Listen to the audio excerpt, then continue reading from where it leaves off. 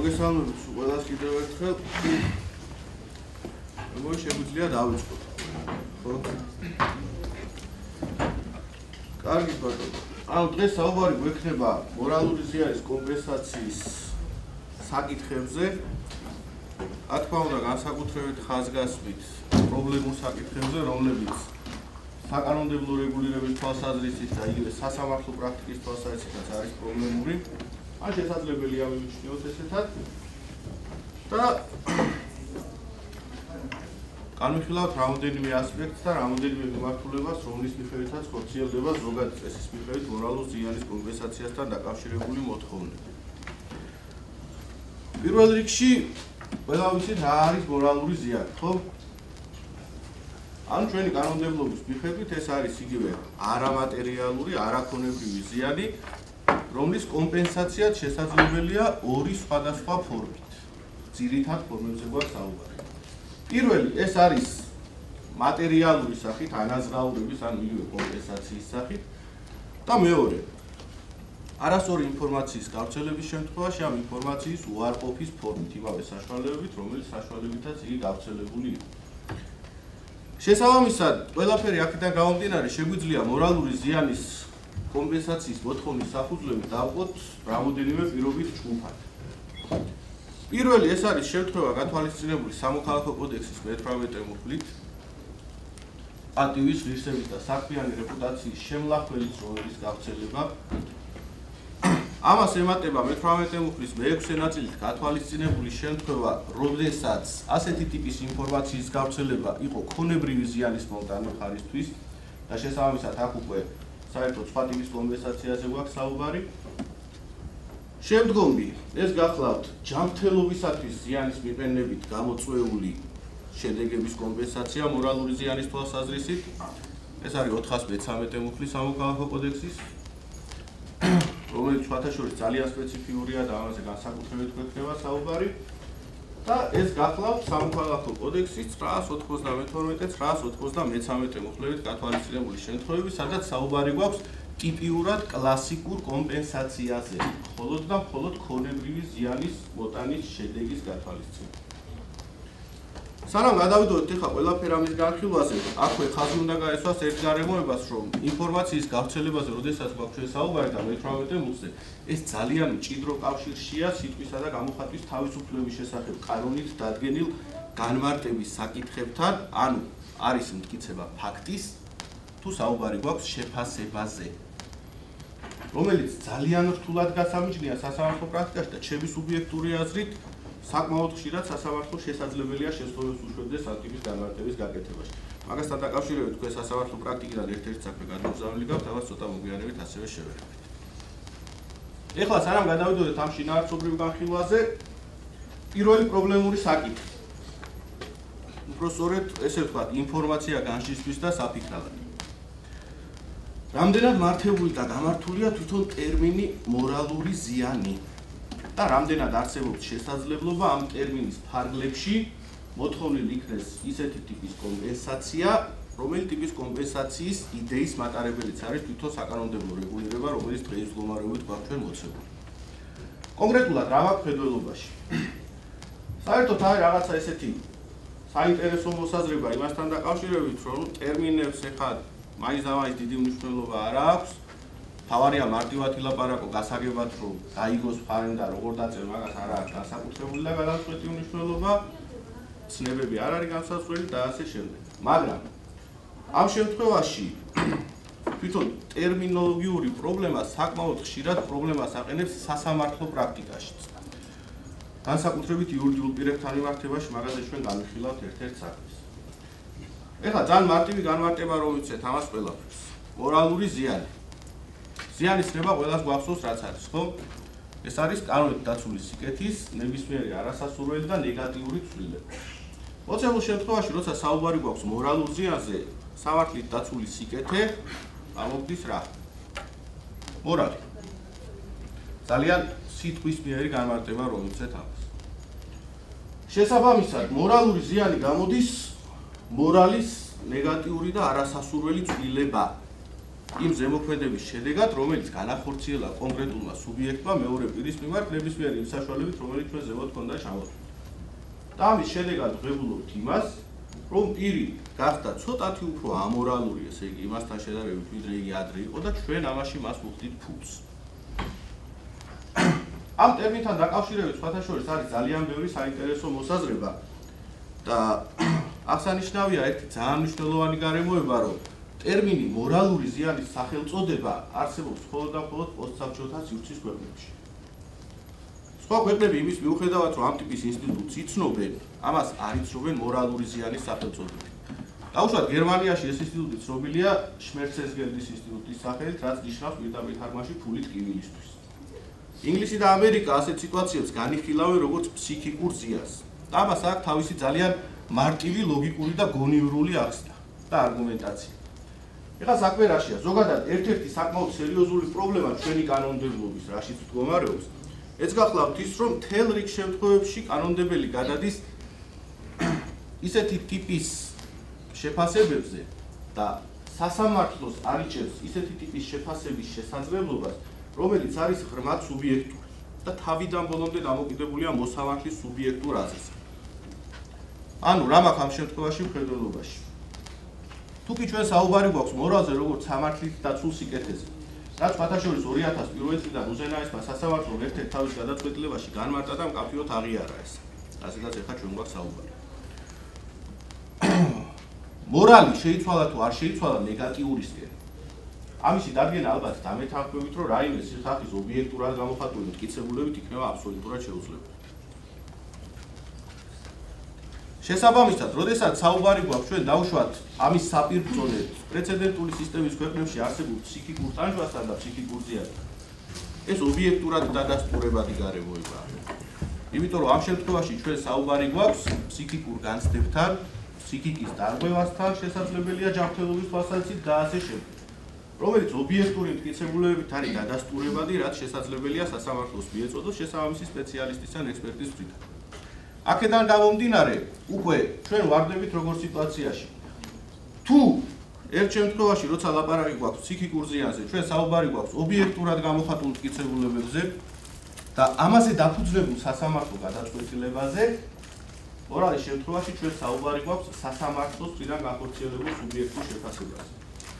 რომელიც ისევე როგორც დაუშვათ ხელშეკრულების განმარტებასთან დაკავშირებულ საკითხებში, რომელიც საკითხი პრობლემაა საერთოდ სამოქალაქო კოდექსში. პრობლემას ხდის სასამართლო გადაწყვეტილების გასაჩივრების თვალსაზრისით. და რატო? სასამართლო სამოტივაციო ნაწილში, რომელი გადაწყვეტილებაც არ უნდა ნახოთ მორალურ ზიანთან მიმართებაში, პირველი ინსტანციის თუ სიტყვის და გამოხატვის თავისუფლებას არ უკავშირდება. ჯანმრთელობისთვის ზიანის მიყენება მაქვს ან ინფორმაციის გავრცელებით ქონებრივი ზიანის მოტანა. ესეთი ტიპის გადაწყვეტილებებს რო გადახედოთ ამ შემთხვევაში თქვენ ვერ ნახავთ იმას რომ სასამართლო ან ნორმა განმარტა არასწორად ან არასწორად გამოიყენა არა ფიზიკურად სხვა რამე არასწორი გამოსაყენებელი უბრალოდ სასამართლო ეკდრობა ერთ კონკრეტულ ნორმას და შემდგომში უკვე აყალიბებს საკუთარ პოზიციას მისი სუბიექტური აზრით დადგენილ ფაქტორულ გარემოებას რომელსაც რაიმე ტიპის ობიექტური მტკიცებულება არ გააჩნია. შესაბამისად როდესაც სასამართლო გადაწყვეტილება საჭირდება ამ შემთხვევაში განსაცვლელი რა არის? სამოტივაციო ნაწილი ხო რას დაეხდო სასამართლო რატომ ისცა ესეთი შეფასება და სხვა. როდესაც ფაქტიურად ვიდის ვაჭრობა მე ჩვეულებრივ მე ვთვლი რომ ამან ესე არ უნდა გააკეთოს ეს არასწორი შეფასება მე შევაფასებდი სხვანაირად. ვიღაცა თვლის სხვანაირად მოსამართლე ჩათვლის სხვანაირად და ასე შემდეგ. ანუ ტერმინოლოგიურ უზუსტობას ვიყავ პირველი ამ პრობლემა. მეორე პრობლემა. იურიდიულ პირებთან დაკავშირებული საკითხი. იყო ერთ-ერთი ესეთი დავა სასამართლოში ორ ავიაკომპანიას შორის, რომელთაც ერთ-ერთი ავიაკომპანია ითხოვდა მისთვის ფონებრივი ზიანის კომპანიის როების გავრცელების შედეგად მიყენებული ზიანის ანაზღაურებას. მოთხოვნა დაყენებული იყო მორალური ზიანის კომპენსაციის ფორმულირებით და მოთხოვნა ეფუძნებოდა სამოქალაქო კოდექსის 993 მოდის. იმის მიუხედავად, რომ საქმეში სალსახად და არაურացობა დადგენილი იყო გარემოება რომ ინფორმაციის გავრცელებას ჰქონდა არის დადგენილი იყო გარემოება რომ ეს ინფორმაცია იყო არასწორი დადგენილი იყო გარემოება რომ ეს ინფორმაცია იყო ზიანის მომტანი სასამართლო უარი განუცხადა მხარეს მოთხოვნის დაკმაყოფილებაზე ძალიან მარტივი საფუძველი. იურიდიულ პირს არ შეიძლება გააჩნდეს მორალი. ანუ მივიდა სასამართლო ისე იქამდე ამ შემთხვევაში ტერმინს მისცა ძალიან ვიწრო სიტყვასიტყვითი განმარტება და შესაბამისად დააყენა ამისი სამართლებრივი შედეგი. გადაშოეს სასამართლო პრაქტიკას რო გადახედოთ არის შემთხვევები, როდესაც სასამართლო თერიქ შემთხვევებში უკმაყოფილებს იურიდიულ პირს მორალური ზიანის კომპენსაციის მოთხოვნას, მაგრამ ეს ცოტა უცნაური პრაქტიკა დაადგინა სასამართლომ და რა ფორმულირებას თუ აძლევთ იმასთან დაკავშირებით, რომ ამითი მე შემელახა საქმიანი რეპუტაცია და ამინაზღაურეთ საქმიანი რეპუტაციისათვის მიყენებული ზარალი, ასეთ შემთხვევაში სასამართლო ამას აანაზღაურებს. ფორმულირებას თუ აძლევთ, ზუსტად იგივე საფუძვლით, იგივე ნორმებით, იგივე ნაწილებით და ასე შემდეგ. თუ აძლევთ ფორმულირებას მორალური ზიანის კომპენსაციაზე, სასამართლო ძალიან დიდი ალბათობით ამბობს უარს ამ მოთხოვნის დაკმაყოფილებას. თუმცა ამ ფორმულირებას ეს მოდიშთა ცოტა თითიდან გამოწვეული საფუძველია სასამართლოს. ვინაიდან სამართლებრივი საფუძველი და ნორმა არის ერთი. პლუს ამას, როდესაც საუბარი გვაქვს არაქონებრივ ზიანზე, კიდევ ერთი პრობლემა, რომელსაც ვაწყდებით ჩვენს კანონმდებლობაში, არაქონებრივი ზიანი, იგივე არამატერიალური ზიანი ცდერის შემთხვევაში, გამოცხადებულია მორალური ზიანის სინონიმად. ანუ 18 მუხლის მე-6 ნაწილს დაკვირვებით თუ წავიკითხავთ, იქ ვნახავთ არაქონებრივი ფრჩხილებში მორალური ზიანისთვის შეიძლება პასუხისგებლობის მოთხოვნა. 413 მუხლის, რომელიც განსაზღვრავს მორალური ზიანის კომპენსაციის საკითხებს არაქონებრივი ზიანისათვის ჯანმრთელობის მიყენების შემთხვევაში, სწორედ ამიტომ განიმარტება მორალური ზიანის კომპენსაციის საკითხა და მორალური ზიანის მოთხოვნა. კიდევ ერთი პრობლემა, რომელიც ჩვენ გვიდგას, ეს გახლავთ კომპენსაციის ოდენობა. რომელიც უნდა განისაზღვროს გონივრული და სამართლიანი ფარგლებით. ამ შემთხვევაში ამას ახლა ძალიან რთულია რაღაცა ის კეთრი შეფასება მისცე, რომ ეს ან ძალიან ცუდია, ან ძალიან კარგია. მაგრამ იმის გათვალისწინებით, რომ არ არსებობს რაიმე მიახლოებითი კრიტერიუმი, მაინც თუნდაც სასამართლო პრაქტიკის თვალსაზრისით, რომელთაც შესაძლებელია რაღაცა კონკრეტულ საკითხზე დადგენილი იყოს რაღაცა კონკრეტული მიდგომა, ამ შემთხვევაში უკვე პრობლემას ვაწყდებით ხო. იმიტომ რომ ერთ-ერთ გადაწყვეტილებაში დავუშვათ უზენაესმა სასამართლო მართალია თვითონ სარჩელი არ დააკმაყოფილა, მაგრამ იქ მიუთითა რომ 1 მილიონი ევროს ოდენობით მორალური ზიანის კომპენსაციის მოთხოვნა სამართლიანი იქნებოდა ის რომ დაედასტურებია რაღაცა კონკრეტული გარემოება. ანუ სასამართლოს მისაღებად მიაჩნია დაუშვათ ის მომენტი, რომ 1 მილიონი ევროს ეკვივალენტი გადაუხადო დონეს მორალურ ზიაში. ამავდროულად თქვენ რო გაეცნოთ სასამართლო პრაქტიკაში არსებულ საქმეებს, რომელიც ძირითადად დაკავშირებული იყო ჭიათურ მანგანუმის წინააღმდეგ მიმართულ დავებში ჯანმრთელობისათვის ზიანის მიყენებაზე ჩიოდა მოსახლეობა. იმიტომ რომ გადაუხურავი ტრანსპორტით გადაქონდათ გარკვეული ნარჩენები და ამან გამოიწვია მოსახლეობის დაავადებები. ყველაზე მაქსიმალური ოდენობა ზიანის ანაზღაურების, რომელიც თქვენ შეიძლება ნახოთ, იქნება 10000 ლარი. იმის იგი თქვენ ნახოთ. რა შეეხებოდა, რომელი ფაქტობრივი გარემოება ვერ დაადასტურა მხარეს?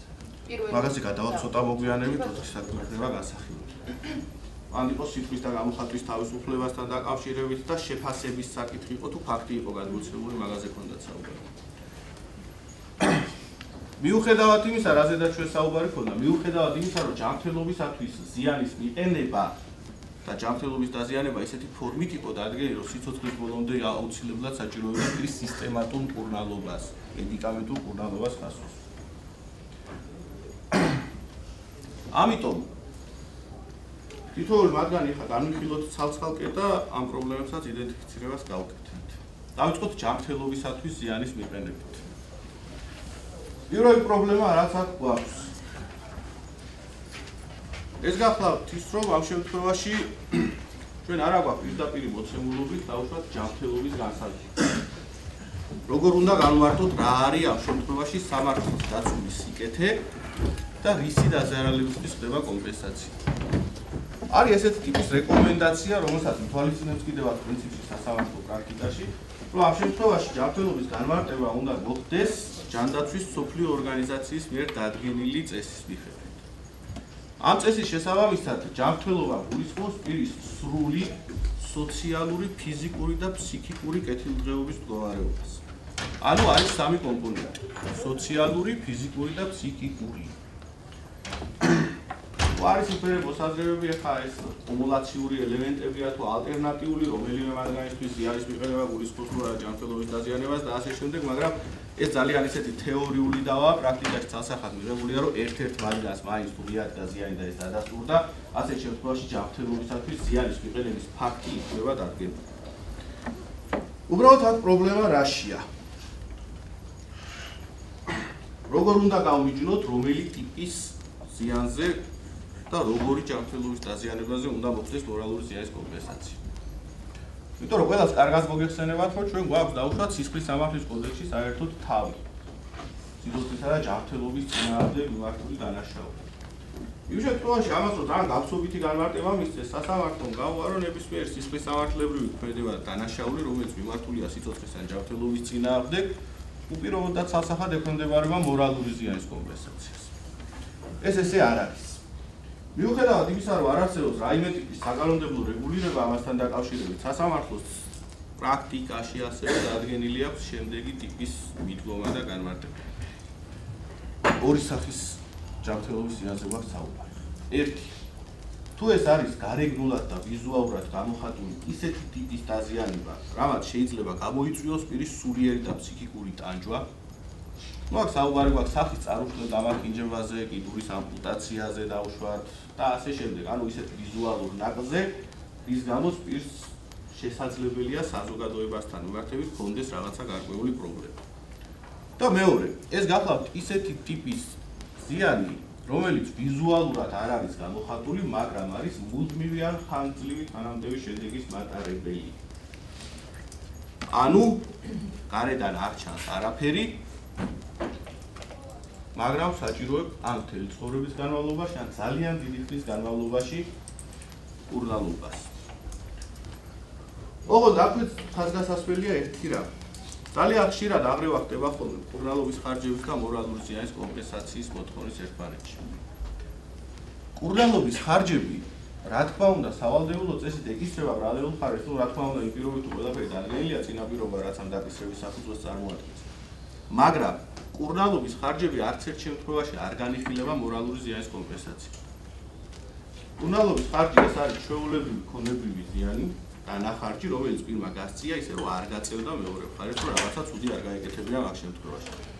მორალური ზიანის კომპენსაცია ხორციელდება ქონებრივი დანახარჯებისაგან დამოუკიდებლად.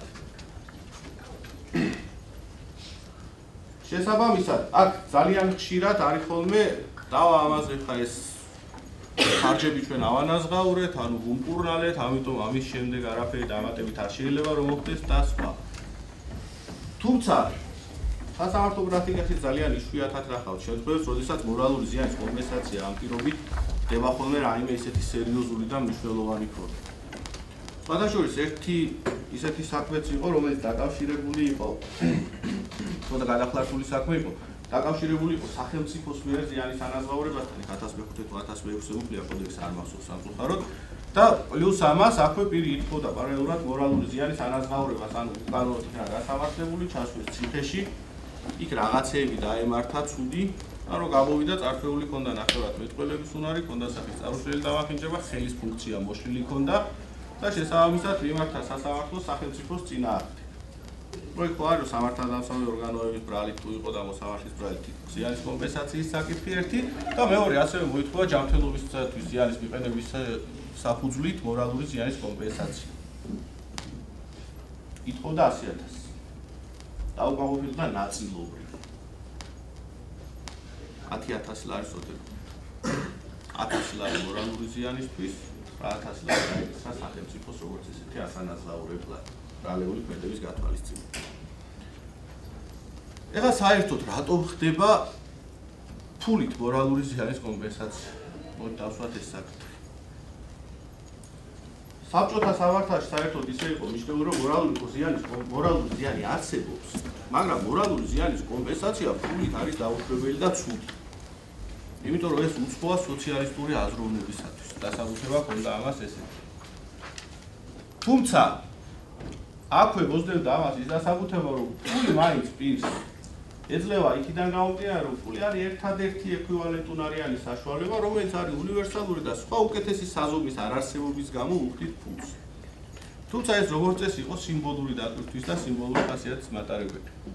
სხვადასხვა სიმბოლიკაზე როდესაც გვაქვს საუბარი და სიმბოლურ ანაზღაურებაზე მორალური ზიანის ეს სხვადასხვანაირად შეიძლება იქნეს გაგებული სხვადასხვა სისტემის ქვეყნებში. დავუშვათ ინგლისში ყველაზე უფრო ესე ვთქვათ ძლიერ მოთხოვნად და ყველაზე უფრო დამაკმაყოფილებლად პირისთვის, რომელიც ითხოვს ფსიქიკური ზიანის ანაზღაურება, ითვლება მოთხოვნა, როდესაც მას შეფასებული აქვს თავისი ზიანი 1 შილინგის ოდენობით. ეს არის ყველაზე კარგი და ყველაზე მაგარი. იმის ანუ ეს მაჩვენებელია იმის, რომ სიმბოლურად მისთვის 1 შილინგის გადახდა ნიშნავს იმას, რომ მეორე მხარე მორალურად განადგურებულია და დაშილი. მაგრამ ანალოგიური მიდგომა თქვენ რო გამოიყენოთ დაუშვათ სკანდინავიური სისტემის ქვეყნებში ან თუნდაც საქართველოს შუით ესე ვთქვათ ერთი თეთრის მოთხოვნა რო დადგეს. ასეთ შემთხვევაში ეს თვითონ საზოგადოების მხრიდან არ არის ესე ახლა. ეს შესაძლებელია კონკრეტული სუბიექტი, რომელიც სასარჩელო მოთხოვნას აღენებს თვითონ დამაყოფილდეს ამით, მაგრამ ზოგადად როგორც ესეთი ამას ესე აღიარებითი ფუნქცია არ აქვს.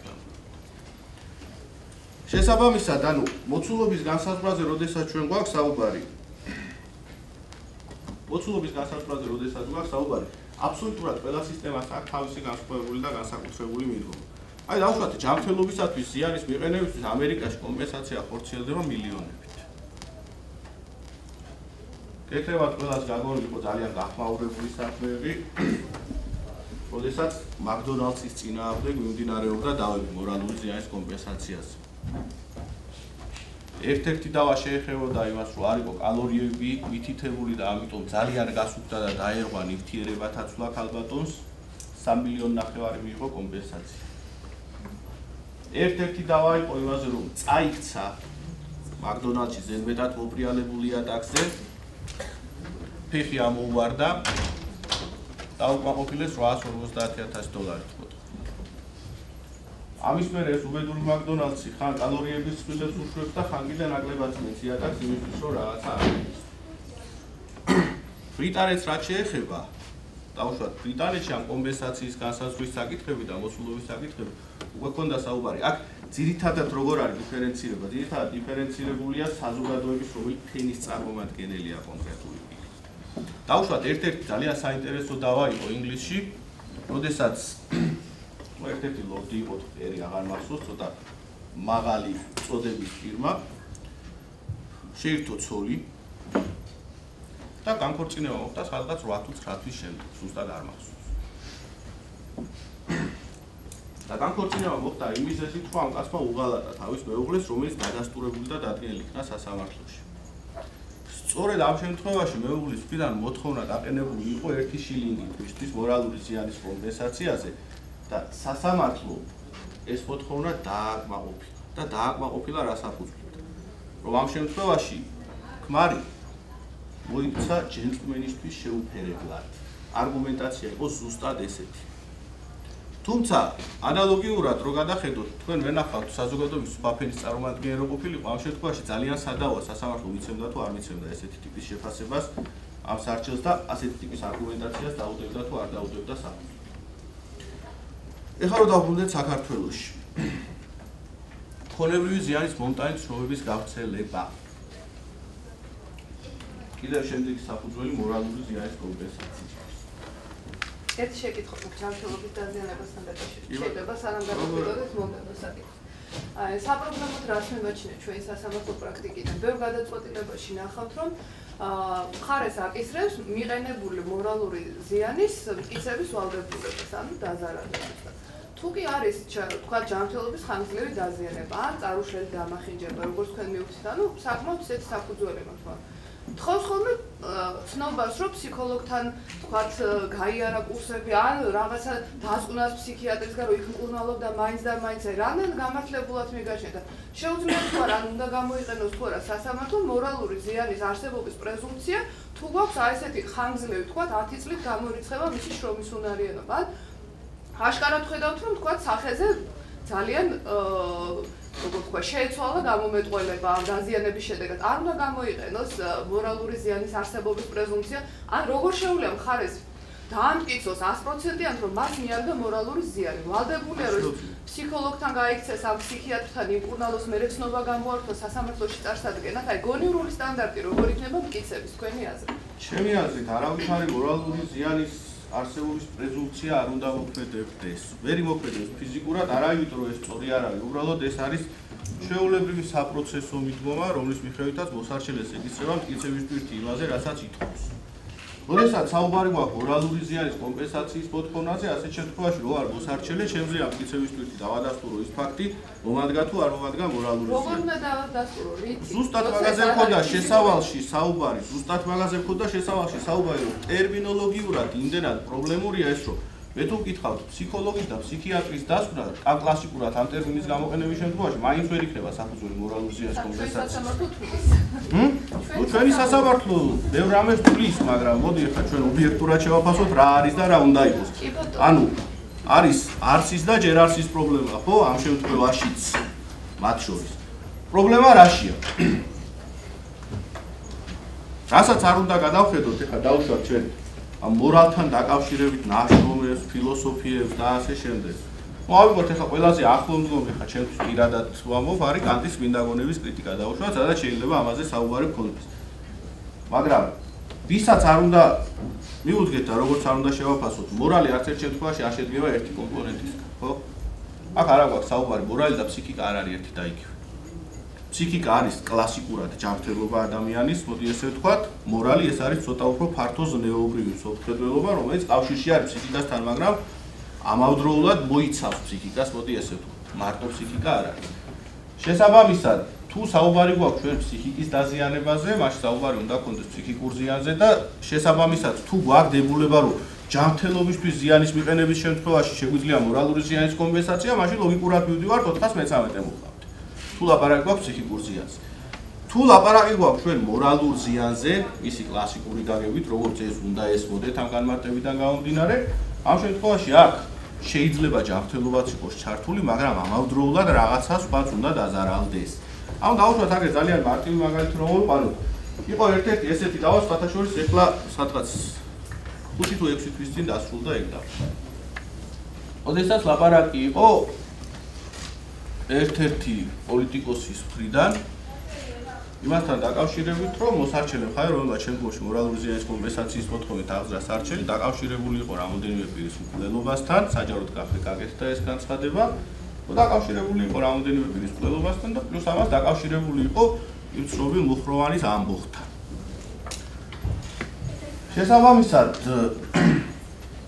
მოთხოვნა დააყენა პირმა რომლის მიმართაც დააყენეს ეს საკითხი სასამართლოში რომ უნდა ამინაზღაუროს მე მორალური ზიანი მორალური ზიანი 100 მილიონად შეაფასა თუ სწორად გახსოვთ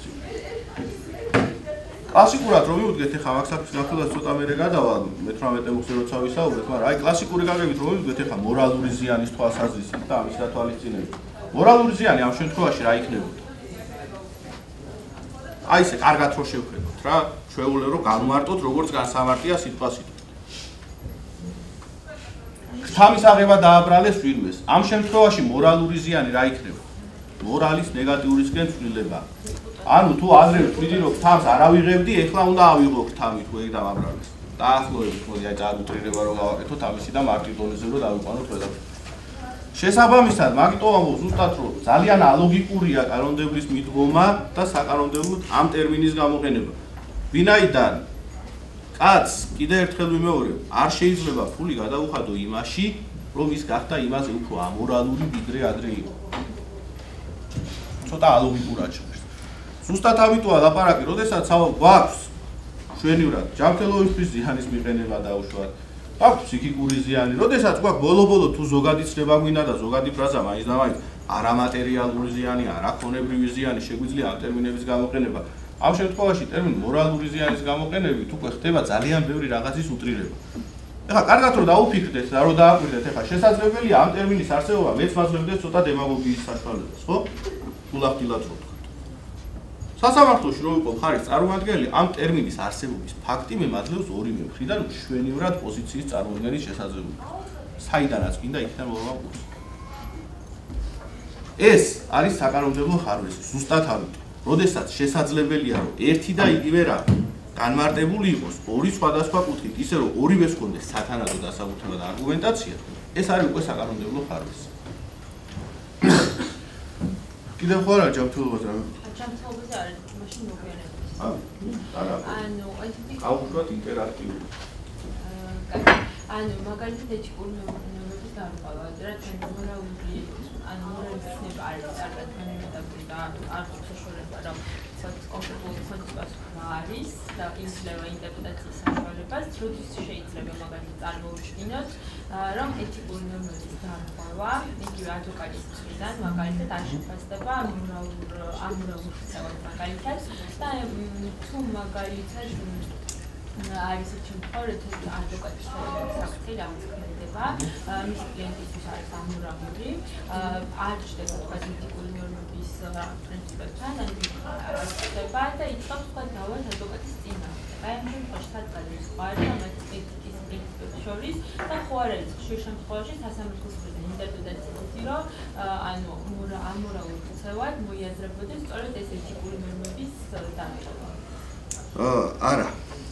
აქ მეგორი ძალიან მარტივად შეიძლება მიჯნა გავავლოთ მორალური ზიანის კომპენსაციაზე საკანონმდებლო კუთხით რასაც ჩვენ საუბრობთ და იმ ეთიკურ საკითხებზე რომელიც შეიძლება ნუ განიხილოს და რატო?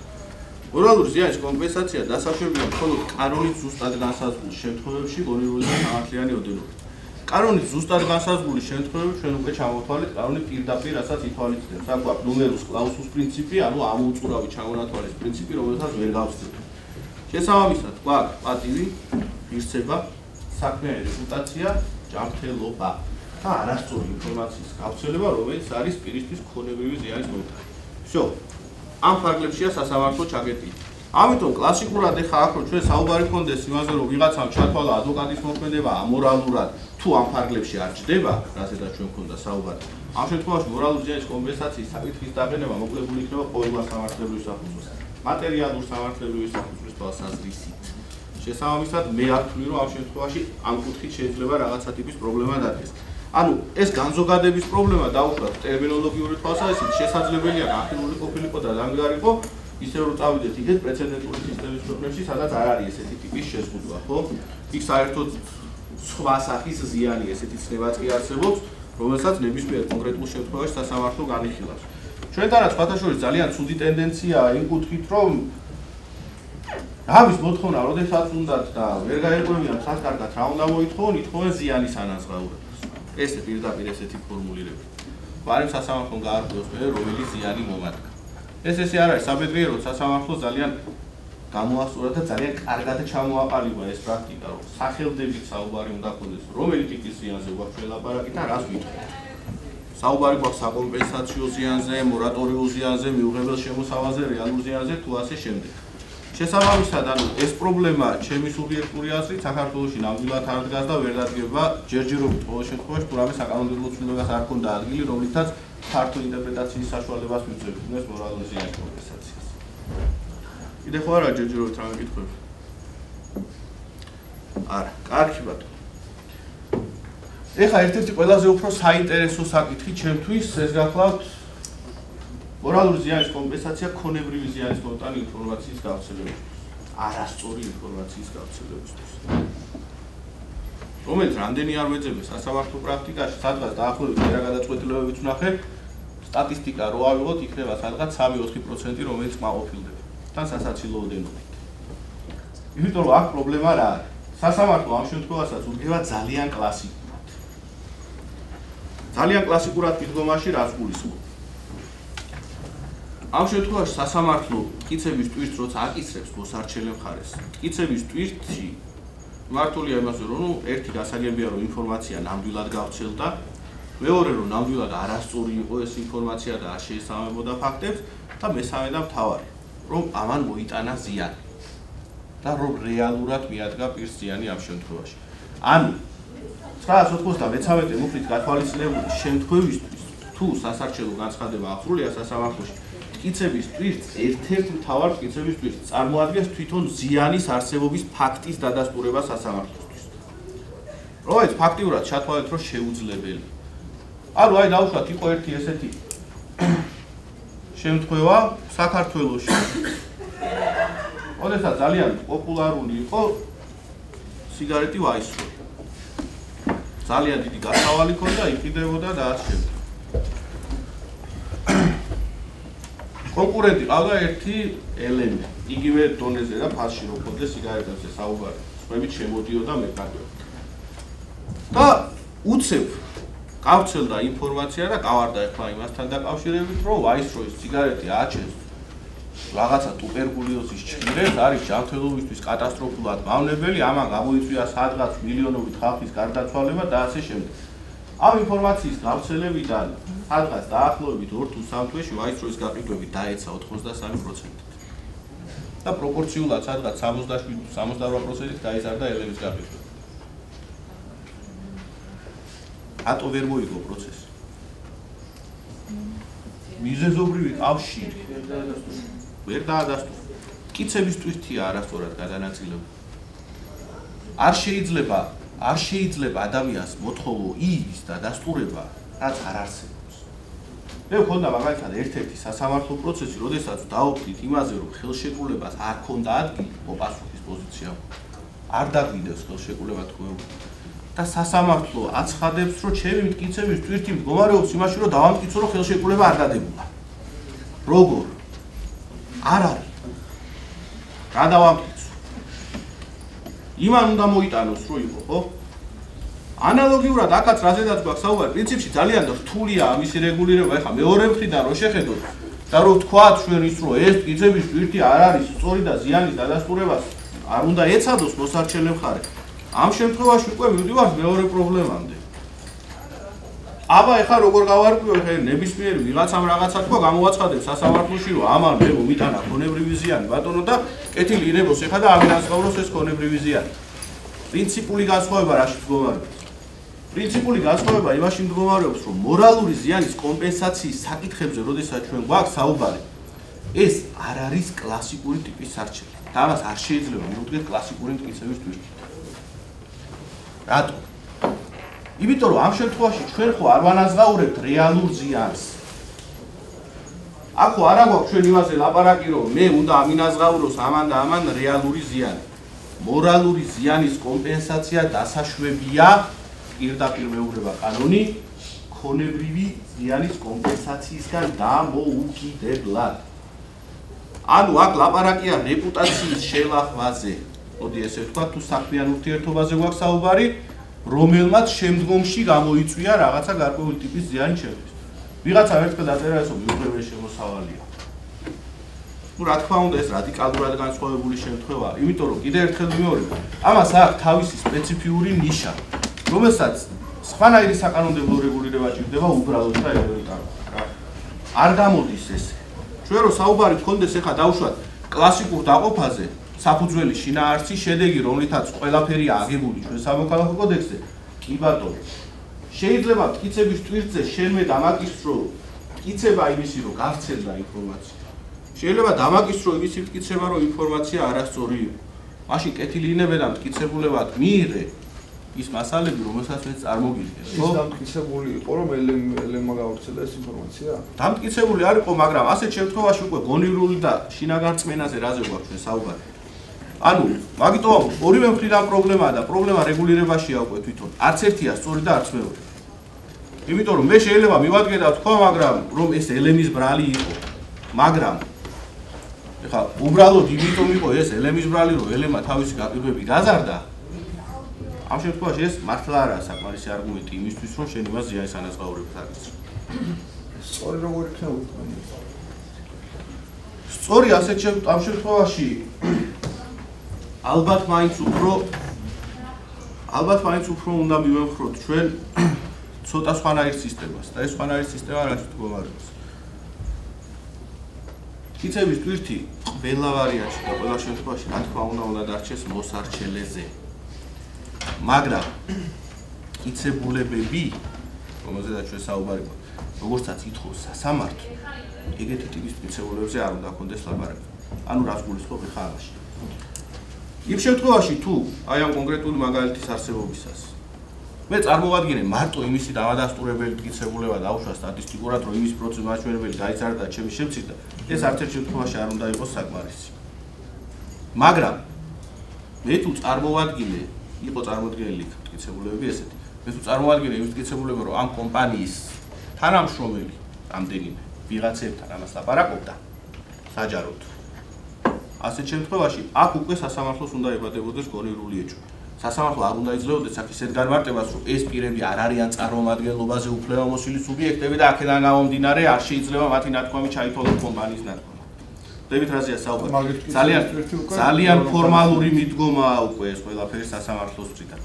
ანუ ასეთ შემთხვევაში ამ ტიპის ზიანის კომპენსაცია მაგიტო ფიზიკურად ძალიან რთულია. როგორც წესი ვერ ხდება ხოლმე. იმიტომ რომ კიდევ ერთხელ ვიმეორებ, ვერ მიდის ვერასდროს ხარი იმ შედეგამდე, რომელ შედეგამდედაც უნდა მივიდეს. აი დავუშვათ, ეხლა რო გადავალთ შემდეგი საკითხის გაფილვაზე, იქაც რა ხალხო რამდენად როგორ ვთქვა, არაერთგვაროვან შეფასებებს იძლევა სასამართლო მთელ რიგ შემთხვევებში განმარტებებთან მიმართებაში. აცი, როდესაც კიცევითი ფორმით იძახის. ო, ამას მე გამარჯობასაც არ ვეტყოდი, არ მივესალმებოდი და ამის დანახვის სურვილიც არ მაქვს, იმიტომ რომ ეს გარეულია ორი ადამიანის ყველობაში და რაღაცების აჯანყებაში და სასამართლო ამბობს, რომ ეს მისი შეფასება ფაქტის. და არა თვითონ ფაქტის კიცევითი ფორმა. ასეთ შემთხვევაში მაშინ მაშინ პირიქით ჩდება შეკითხვა, ხო? რა შეიძლება იყოს მაშინ ამ ფაქტის კონსტატაცია? ანუ ფორმის მიცემა ეხა ის სხვა საკითხია კიდევ როცა ლაპარაკი ჩვენ გვექნება პატივის და ღირსების შელახვაზე და კონკრეტულ ფიზიკური პირის მიმართ განხორციელებულ ქმედებაზე ეგ აბსოლუტურად განსხვავებული თემაა იმიტომ რომ მათ ცოტა სხვა სიკეთეა დაცული. როდესაც ლაპარაკია ქონებრივი ზიანის მომტან ინფორმაციაზე და ცნობების გავრცელებაზე.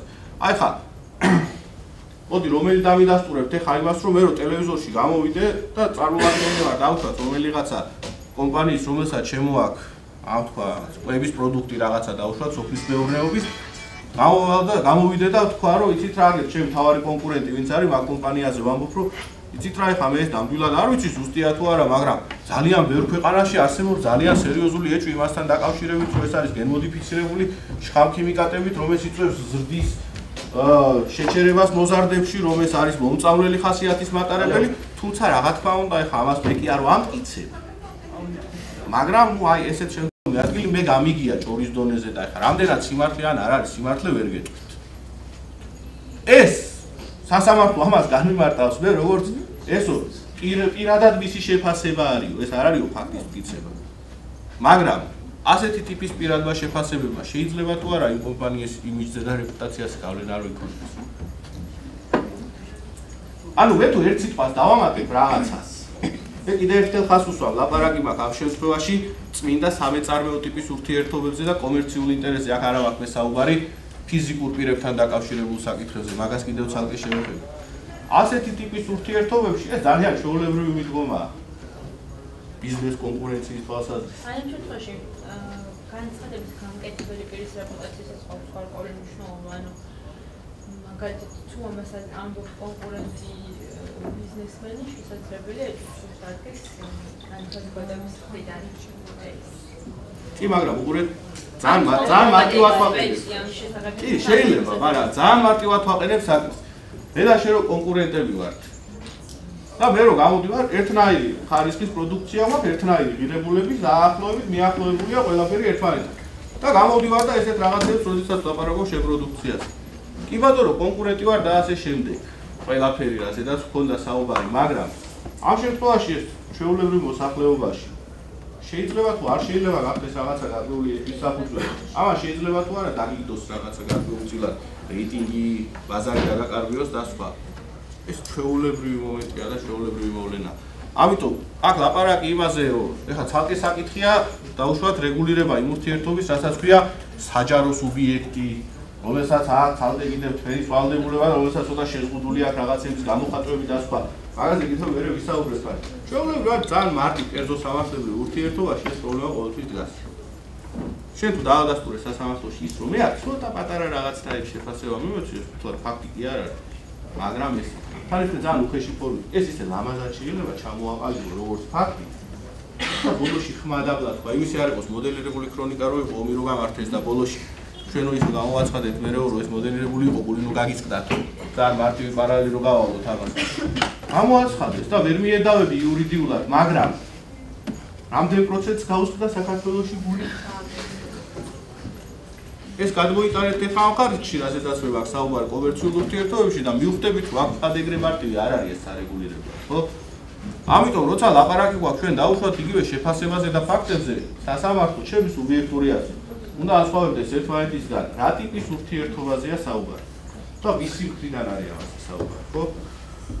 აა, ვიტუვედე ჩვენ ხა ადრე საერთოდ მორალური ზიანის კომპენსაცია თუ გინდებოდა სისხლის სამართლის კოდექსში ქონდა ესეთი ცილის წამება, რომელიც სისხლის სამართლის წესით იყო დასჯადი. აში. ოღონდ ამის ძინაპირობას წარმოადგენდა ის, რომ ამ შემთხვევაში ესეთი ტიპის ინფორმაციის გავრცელებას უნდა ქონოდა ადგილი და სხვა. ეხლა ამასთან პარალელურად რო გავუძლოთ უკვე კომერციულ საკითხს ერთი წუთი თავი რო დავანებოთ, გადავწიოთ გვერდზე და გადავიდეთ პირად ურთიერთობებს. ანუ ფიზიკური პირები. პატივის და ღირსების შემლახველი ინფორმაციის გავრცელება, ან საქმეა რეპუტაციის, რომელიც ხორციელდება საჯაროდ. ამასთან დაკავშირებით სანქცია რა გვაქვს? ანუ კანონი პრევენცია თქვი ახდეს ამის. ჩვენ რო ადგებიო და ისევ ისე იტყვიო რომ არა ბუდიში ბატონო ეს ხადესე არ ყოფილაო. ზოგ საერთოდ საუბარი აქვს იმაზე რომ აი ბუდიშის მოხდა. ესეთი მოთხოვნა ძალიან ბევრი აქვს. ბუდიში მომიხადოს საჯაროდ. და ესეთი მოთხოვნა არ მაყოფილი. და მარტივია. ვერ ახსულდება. ვერ დამაყენებს მე ამასულებელი და ვერ ვერ მათქევიებს ამ ბუდიშს ხო არ შეიძლება ეგეთი რაღაცა. ეს უნდა იყოს ახსრულებადი მოთხოვნა, რაზე და ჩვენ გვაქვს საუბარი. შესაბამისად, ეს რეგულირება რა თქმა უნდა ნორმალური და გონივრული რეგულირებაა, მაგრამ ამავდროულად არასაკმარისი და არასაკმარისი რატო? ერთადერთი ესეთი საწოდავი ჩანაწერი, რომელიც აქ საშუალებას აძლევს პირს ასევე მატერიალური საფრთხის კომპენსაცია მოითხოვოს, არის ის, რომ ამ შემთხვევაში თუ ამ ტიპის ინფორმაციის გავრცელება ასევე გამოიწვია ქონებრივი ზიანი, მას შეუძლია ქონებრივი ზიანის არასწაურების მოთხოვნა. მაგრამ იქ ძალიან კაფიოდ მკაცრად და მტკიცედ სასამართლო აუცილებლად ამ შემთხვევაში თუ საჯაროდ არის ინფორმაცია გავრცელებული, აუცილებლად და ყოველ მიზეზის გარეშე იყენებს სიტყვისა და გამოხატვის თავისუფლების შესახებ კანონს, რომლის მეორე თუ მესამე მუქითაც განმარტავს, რომ ამ შემთხვევაში მტკიცების პირთი უპირობოდად სასახად ეკისრება მოსარჩენელ ხარეს ასე. და რა უნდა ამტკიცოს ახლა მოსარჩენელ, უყურეთ? მოსარჩენელ უნდა ამტკიცოს ის, საუბარი ქონდა მეორე ხალისიდან ფაქტის კონსტატაციას თუ საუბარი ქონდა შეფასებას მის პიროვნულ შეფასებას ეხლა ზუსტად იმ საქმეზე რაც ქონდა საუბარი ერთ-ერთი პოლიტიკოსი გამოდის ტელევიზორში პირდაპირ ეთერში აა პროექტი იყო პრეზიდენტობა უნდა და ძალიან ადრე და დააყენა კანდიდატურა და გამოვიდა და ამბობს იმაზე რომ ეს კაციო ბანდიტიაო. ტიპიური კლასიკური ბანდიტიო სიტყვაში თქვენ. ესო როგორც ვინო ორი ადამიანის ყველობას უკავშირდება მისი სახელიო. და მესაკ. ამის მოწყობილი იყო ის ამბობს მოხოვაში რომელსაც ადგილი ჰქონდა. ეხლა რა ხდება? ეს კაცი გავარდა სასამართლოში რომელი ბანდიტი დამკველი მემნახეთო და სასამართლოში თავის პოზიციას ასაკუთებს ძალიან მარტივად. როცა ლაპარაკია მკვლელობაზე, როცა ლაპარაკია ამბოხებაზე, საუბარია სისხლის სამართლის დანაშაულს. იმისთვის რომ დადგენილი ფაქტი იყოს სისხლის სამართლის დანაშაული და ქმედება, ამისთვის უნდა არსებობდეს კანონიერ ძალაში შესული გამამტყუნებელი განაჩენი. სპანაირად მოქმედებს უდანაშაულობის პრეზუმპცია, ბატონო, რომელსაც არ შეიძლება რომ ესეთი რაღაცა თქვა ჩემს. ამიტომ აქ მეო მეტი სამკიცებელი არაფერი არ ამაყო, რაღა უნდა ვამკიცო მეტიო, მაჩვენეთ განაჩენი, სადაც წერია ესეთი რაღაცა და დაგეთანხმებით. და სასამართლოს გენიალური განმარტება. იქო იმან თქვაო, რომ მისი სახელი უკავშირდება ორი ადამიანის ყველობას. ის კი არ უთქვამს, რომ მოკლაო. ამიტომ ეს სიტყვა უკავშირდებაო წარმოადგენს მის შეფასებასო. აქედან გამომდინარე, ესო მისი პირადი შეფასება არა ფაქტის გავრცელება და ამიტომ არ შეიძლება არის. ამბოხთან დაკავშირებით რაც შეეხება იქო თავარიაო კონტექსტიო და კონტექსტი ახლა რაში მდგომარეობს. ამ კაცმა თავის კანდიდატურა რო დააყენა პრეზიდენტობაზე ეს ნიშნავს იმას რომ მანო პოლიტიკური პასუხისმგებლობა აიღო და შესაბამისად არ უნდა გაუკვირდეს მოწინააღმდეგე პოლიტიკური პარტიის წევრისგან ესეთი ტიპის შეფასებები ეს ჩვეულებრივი პოლიტიკური დავის წარმოების მეთოდია. და აქედან გამომდინარე, პირველმა, მეორე და მესამე ინსტანციამ უარი განაცხადა ასეთი ტიპის სარჩელის დაკმაყოფილებას. ყველაფერს სხვა დანარჩენს რო თავი დავანებოთ და რო ჩავთვალოთ რომ ახლა რაღაცა გენიალური მიგნებაა ის რომ სახელი უკავშირდება და არა სახელი და ამიტომ ეს ფაქტი არა სხვა დანარჩენზე არგუმენტი არ არსებობს პოლიტიკური ბრძოლის წარმოება არ ნიშნავს იმას რომ ჩვენ შეგიძლიათ რაღაცა მსგავსი ტიპის თემებით მანიპულირება და მკიცება ხო? არ ნიშნავს იმას რომ ატყდება ხოლმე მთელი ამბავი ხარ. იმ დღეს რაზე იყო? აღარ მახსოვს ცოტა ხნის წინ საუბარი იყო რაზე? ორი რაღაც ერთი ორი წლის წინ ვიღაცა ჟურნალისტმა მანქაი დაიდანა ქალი თუ ვიღაცას დაეჯახა მოკლედ დაიჭირეს ჟურნალისტი დაიჭირეს აიო სიტყვის თავისუფლების შეზღუდვა როგორ დევნიან ჟურნალისტებს. ანუ ბატონო ეს უამრავი მაგალითია, მაგრამ კი ძალიან ბევრი. ანუ ამ თემით ხდება ძალიან სერიოზული манипуლირება მაშინ, როდესაც ავას კანონი ძალიან კაფიოთ და მარტივად ამბობს. კანონი იმას კი არ ამბობს, რომ შენ ეს არ შეიძლება რო თქვა, შეიძლება შენ თქვი შენი აზრი, მაგრამ გამოთქვი ეს დასაბუთებულად.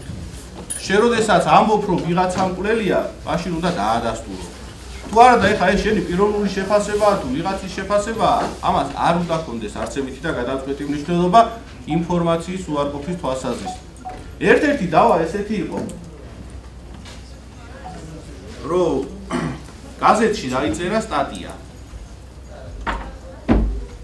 და სტატია არის რაღაცა ესეთი შინაარსის რო ამისი შვილიო ვიღაცაზე წერე თუ სახელი დაგვარი ამისი შვილიო არისო მეძავიო და ესე კიდევ ჩამოყალიბებული თაღლითები მთელი ოჯახი.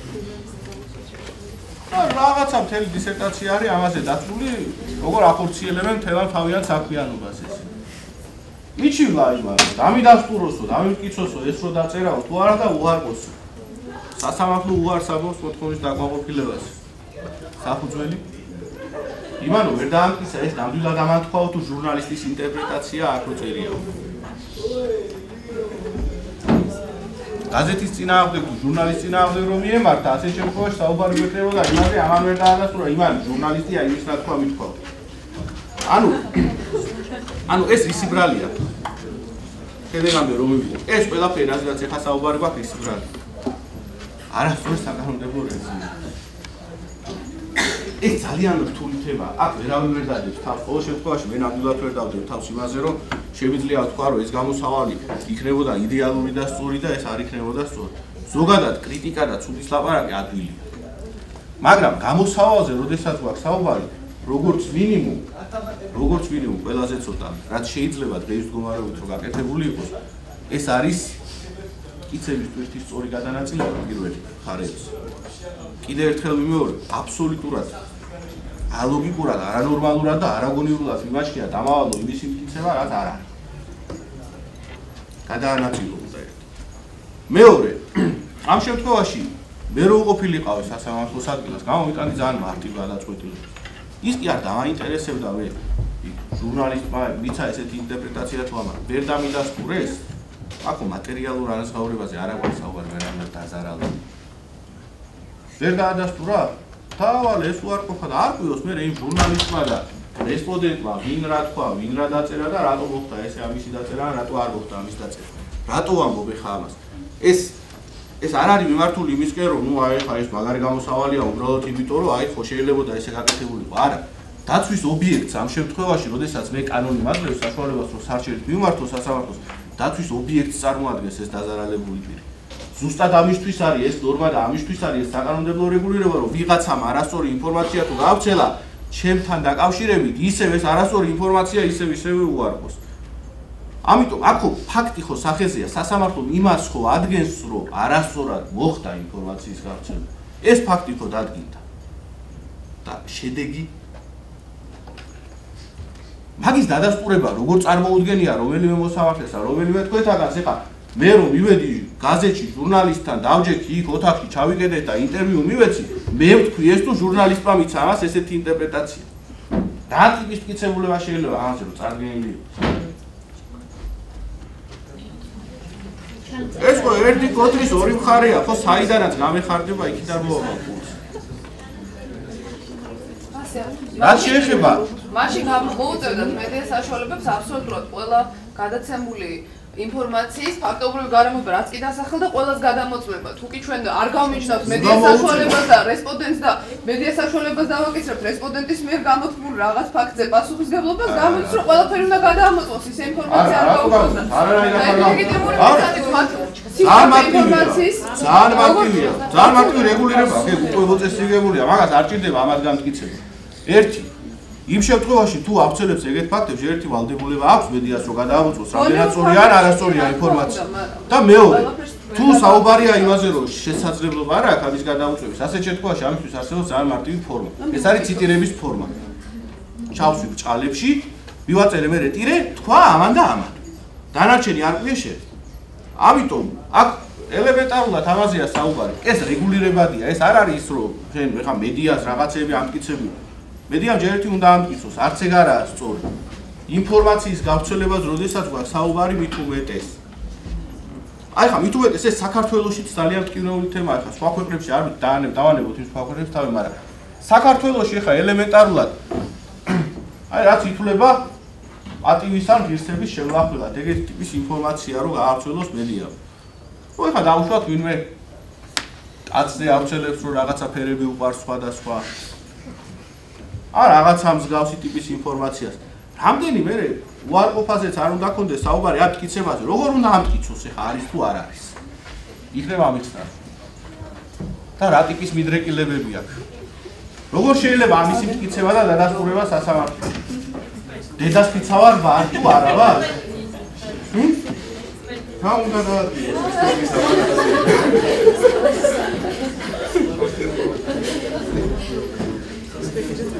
ამიტომ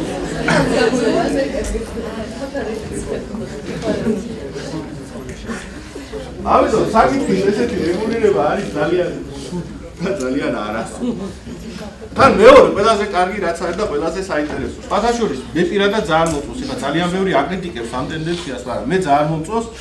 დღეს მდგომარეობა ჩვენ თუ გადავხედავთ უკვე სასამართლოს ძალიან ბევრ ნაწილში და ძალიან ბევრ საქმეში და გადაწყვეტილებებში სასამართლო მიმართულია უკვე ფაქტიურად გარკვეული პრეცედენტული სისტემის ჩამოყალიბებისკენ.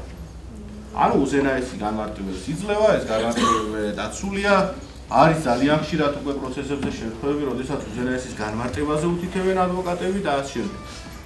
ეს თუ ვიღაცა წამოხდება მე იქ მეორე მხარეს და ეს სავალდებულო არა პრეცედენტებში თუ არა ხარ. რაც არ უნდა იცახო ხა იმ პირველი ინსტანციის მოსამართლე, როცა იცის რომ ეგეთი განმარტება მიცა უზენაესმა დაწერს ეს სულ არ ეთანხმებოდეს. მოთა ერთი ორი გამონაკლისი შემთხვევა ისეთია უზენაესი უთითებს რომ ესე გააკეთე უბრუნებს აპელაციას და აპელაცია ეძახის არ მეთანხმები უზენაესო და ისევ თავისებურად ტოვებს ძალაში. და პინგ-პონგს თამაშობენ 1 3 4 საქმე, იმიტომ რომ უბრალოდ უზენაეს.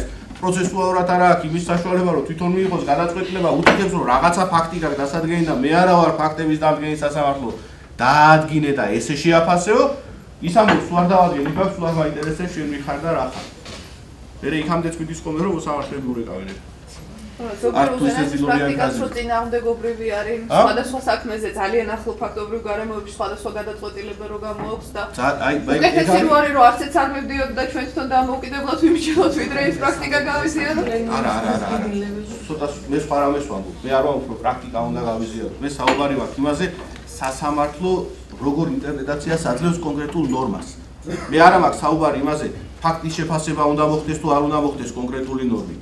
როდესაც ლაპარაკი მაქვს დაუშვათ სავინდიკაციო სარჩელზე და როდესაც უზენაესი ცალსახე განმარტებას აძლევს ამას, რომ სავინდიკაციო სარჩელის დაკმაყოფილებისთვის სავალდებულოა რომ დაამტკიცო შენი უფლება, იმისი უფლების არარსებობა და ფლობის ფაქტი. ეს განმარტება უკვე ჩარჩო განმარტება, აქ როგორი ფაქტიც არ უნდა ქონდეს, ეს იმას ხელს ვერ შეუშლის, რაზეც მაქვს საუბარი. შესაბამისად, ეს ძალიან კარგია. მაგრამ მაგრამ მაგრამ და ისევ და ისევ მაგრამ ჩვენი პრობლემა კიდევ ერთი იმაშიც მდგომარეობს.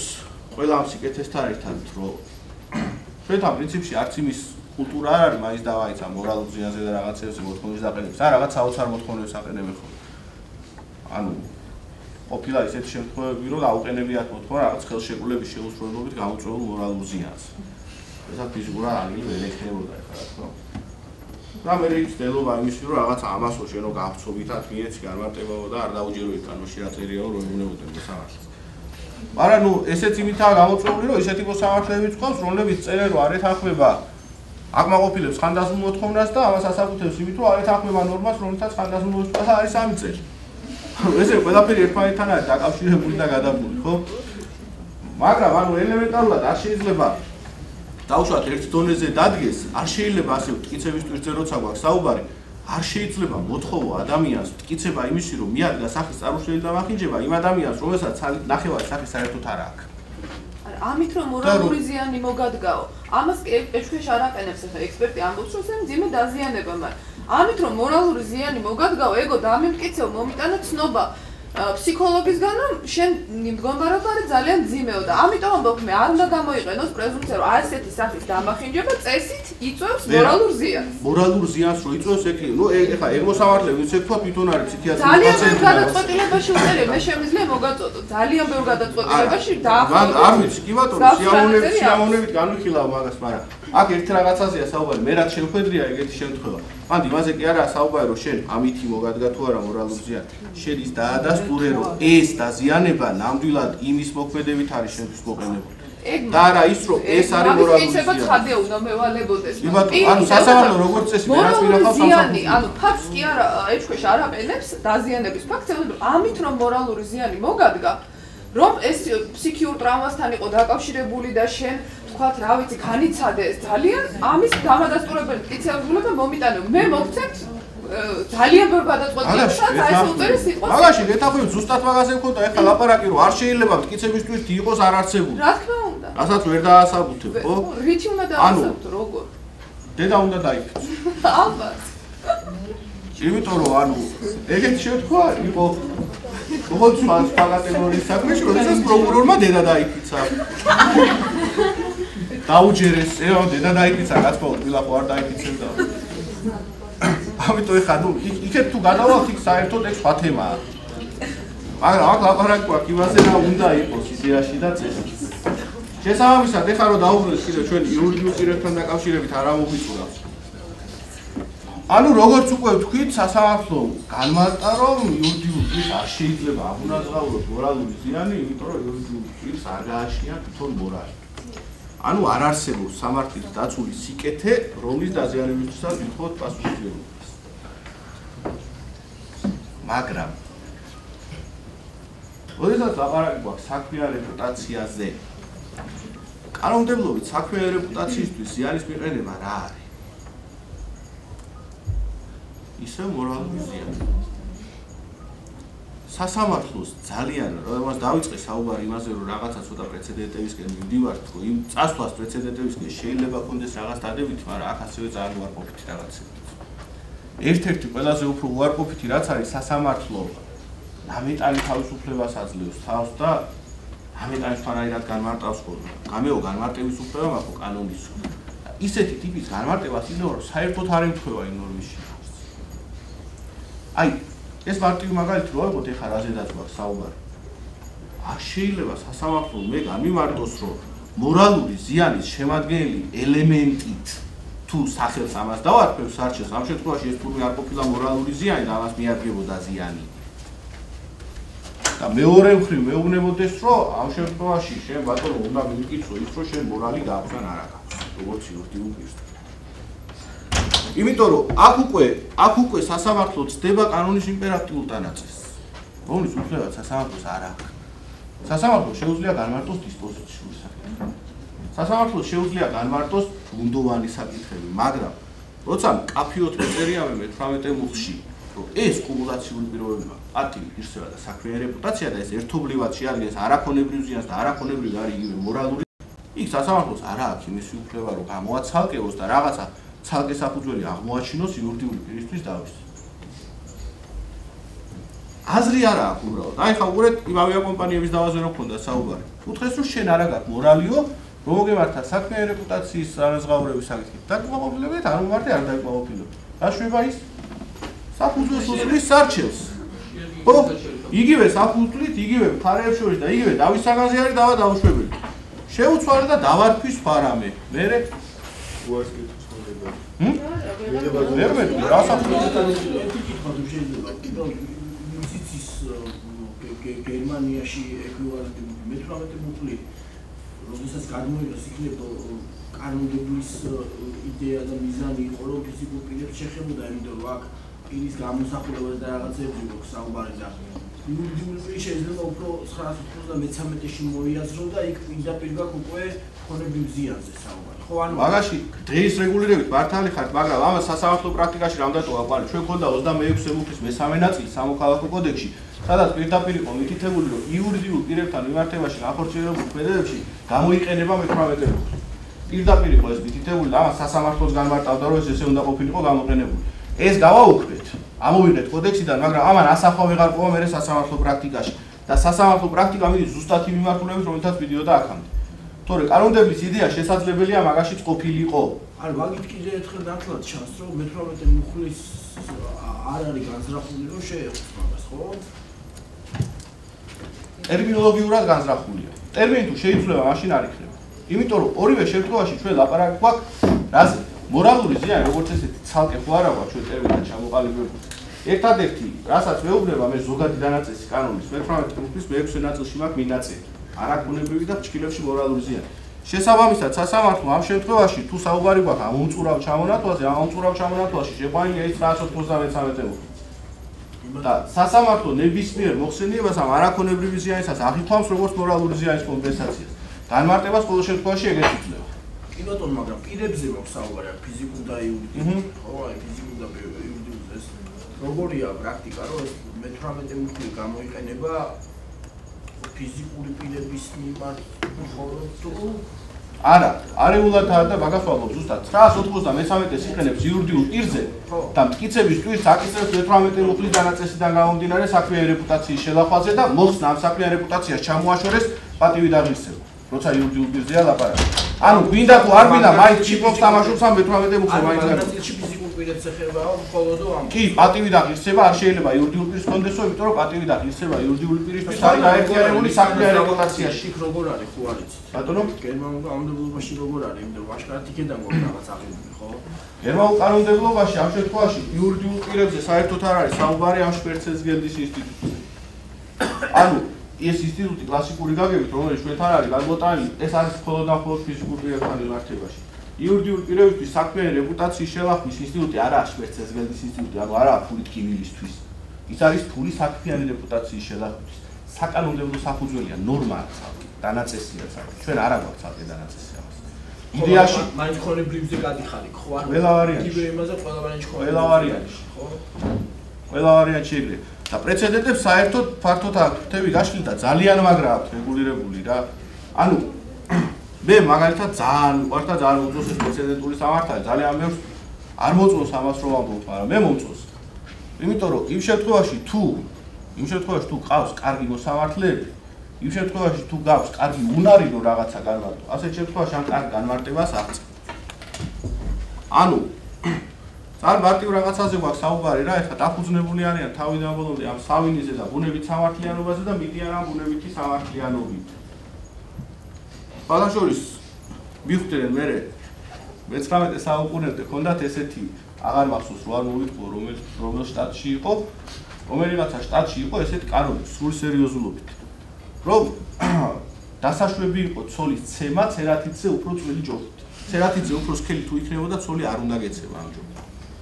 ა გაუფეს მე მიხვდე რომ ესო ცუდიაო ну ეხა იქ კითხვები მოდიოდა მე რა ცერატითი ვისი ცერატითი იზოლება და ასე შემდეგ სტანდარტული ადამიანის ცერატიზე იყო საუბარი ამის მე როდესაც ეს თუ არ ვწდები 1873 თუ 74 წელს გაუფთა ესა და ამის მე ეს შეჩვეული ვიცი ყო ცერატიზე უფრო წვრილი ჯოხი ცოლის ცემაზე მაგრამ ყველას მე ამოაღებიეს ეს მორალური ზიანის კომპენსაციის თვალსაზრისით როგორც ფსიქიკური ტანჯვა ადამიანის მიმართ დაამცირებელი მოპყრობისთვის და ასე შემდეგ რა ვის საშუალებასაც დაუშვათ ხო ეხა ნუ ამ ჯობზე და სულიცემაზე არ ვამბობ არ ვამბობ ბარეს მაგრამ ესეთი ტიპის საშუალებებს ჩვენ გამდებლობა ვერ იძლევა ვერ მოგწევს ფიზიკურად შეზღუდული ვართ და ვზივართ ამ ჩარჩოში ამიტომ როდესაც ლაპარაკ გვაქვს იურიდიულ პირებზე ამას ჩემი სუბიექტური აზრით ერთი მუხლი არც ერთ შემთხვევაში არ გვაქვს ეს საერთოდ სხვანაირად მოსაწესრიგებელი საკითხია როგორც მატერიალურ სამართლებრივად ასევე პროცესუალური კუთხითაც კიცების ტვირთის გადანაწილება ცოტა სხვანაირი უნდა იყოს ამ შემთხვევაში თუ ჩვენ ლაპარაკი გვაქვს იმაზე, რომ ფიზიკური პირი, რომელიც არის საჯარო პირი, გამოდის ტელევიზიით და მას ეკისრება განსაკუთრებული ვალდებულები, რაღაც ის თმენის შეზღუდვები აქვს ცოტა გამონათქვამებში და ასე შემდეგ და ეს ყველაფერი იმიტომ რომ მისი საქმიანობის სფერო არის სპეციფიური. რატო არ შეიძლება იგივე ლოგიკა გამოიყენოს სამეწარმეო სფეროში დაყავებული პირების მიმართ, ну რა თქმა უნდა განსხვავებული ფორმით. მაგრამ რაღაცა პატარა შეზღუდვები რო დაადგინოს. რატო უნდა მოქმედებდეს 2012 წელს უზენაესი სასამართლო ზუსტად იმ პრაქტიკით, რომელიც პრაქტიკაც 2001 წელს დაადგინეს და რომ ის ნორმები, რომლის საფუძველზეც ეს პრაქტიკა დაადგენილი იყო, ამდენი იყო. ხუთი ნორმა იყო, რომელსაც უთხრებდნენ აქედან ორი გაუშვებული. აი ცივით მოქმედება რა და ის ორი საფუძველი იყო. იგივე პრობლემა რო ავიღოთ ფულად ვალდებულებებში გვაქვს იგივე პრობლემა.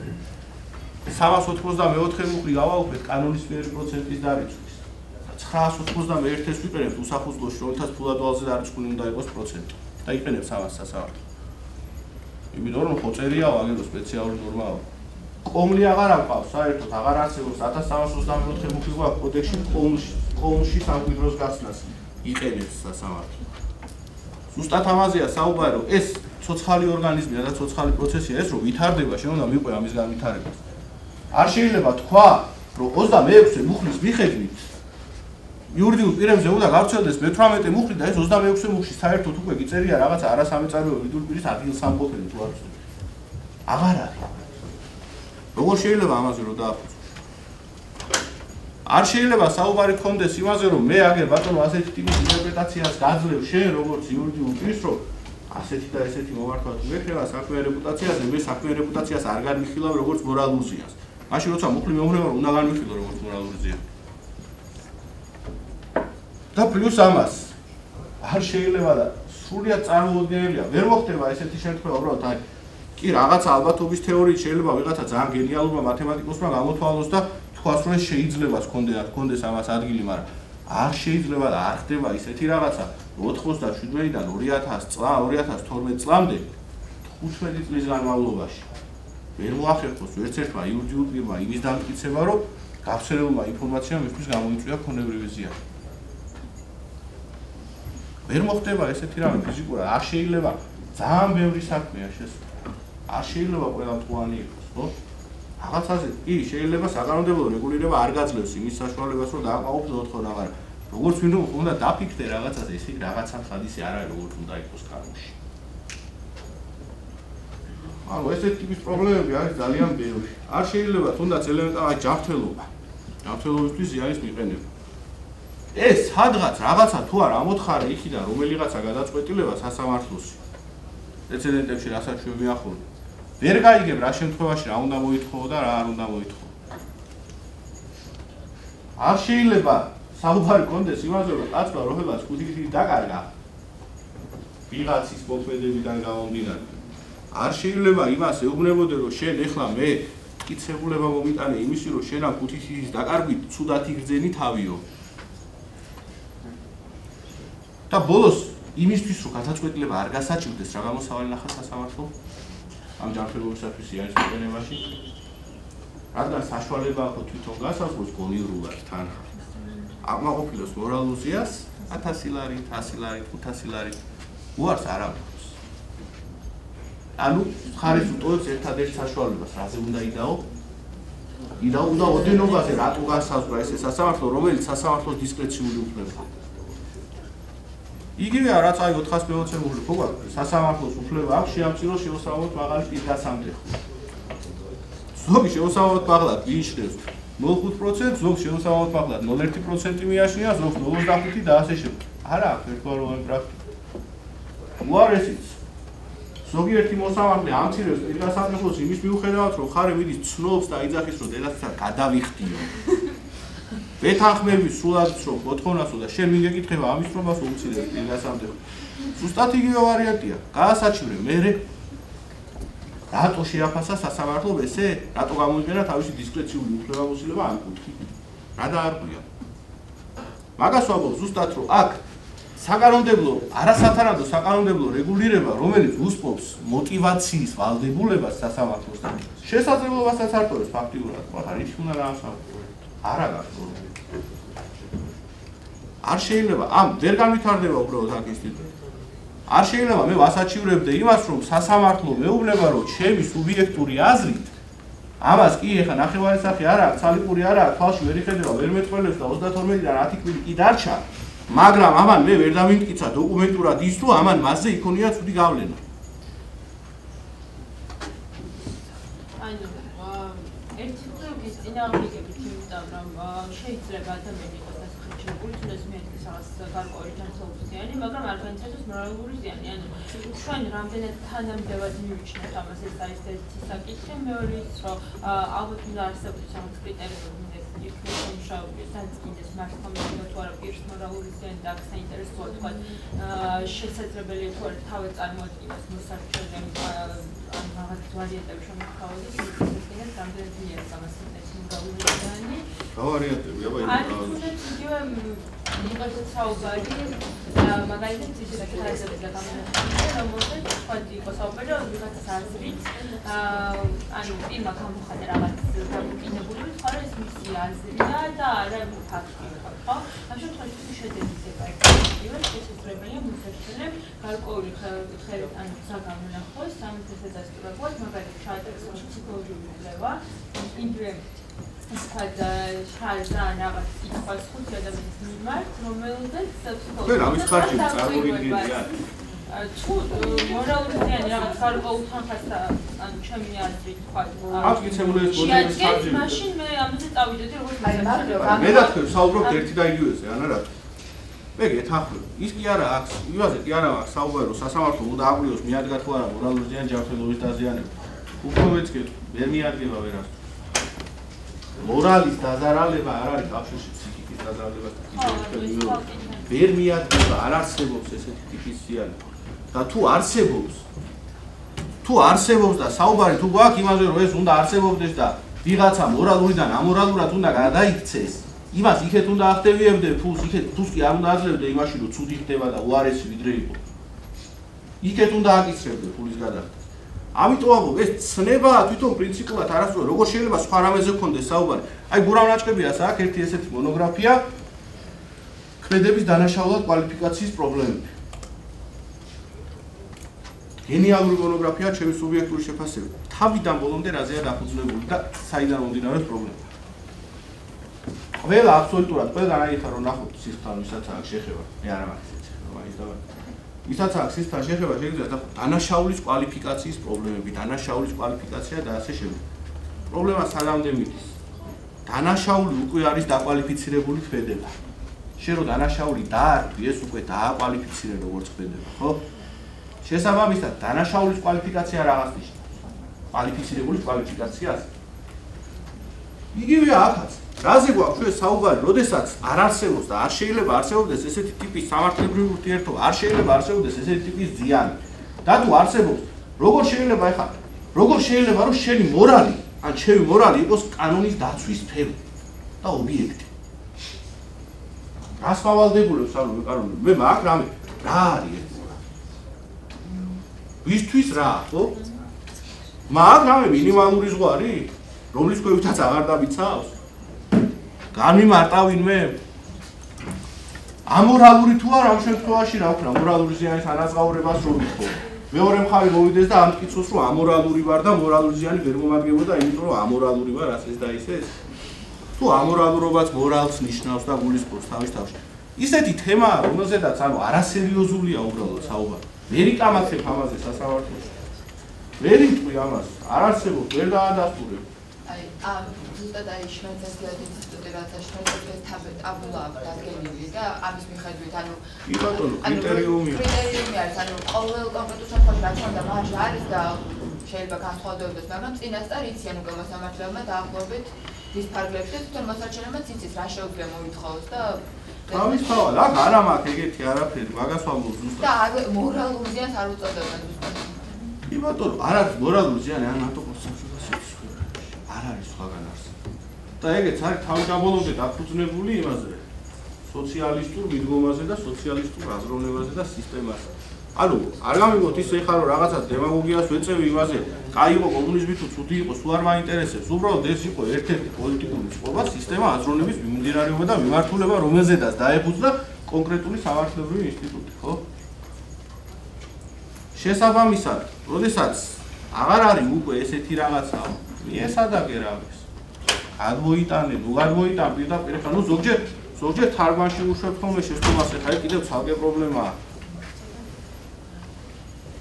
ბევრი ქონდა ეგეთები ხა ნელ-ნელა ვასწორებთ იმას, რასაც თარგმანში შეცდომას უშვებ ხოლმე, მაგრამ ჩემი აზრით ამ შემთხვევაში ამ ყველა ვარიანტში უნდა გავხსენდეს საერთო ხანდაზმულობისა და 10 წლიანი აქლა უნდა დაიწყოს მომენტა როცა პირმა გაიგო, უნდა გაიგო, ეხლა ძნელია რო ვთქვათ, მაგრამ ან უნდა გაიგო იმის შესახებ, რომ ეს ზიანი მიადგა, 10 წელზე უნდა იყოს ლაპარაკი, რატო?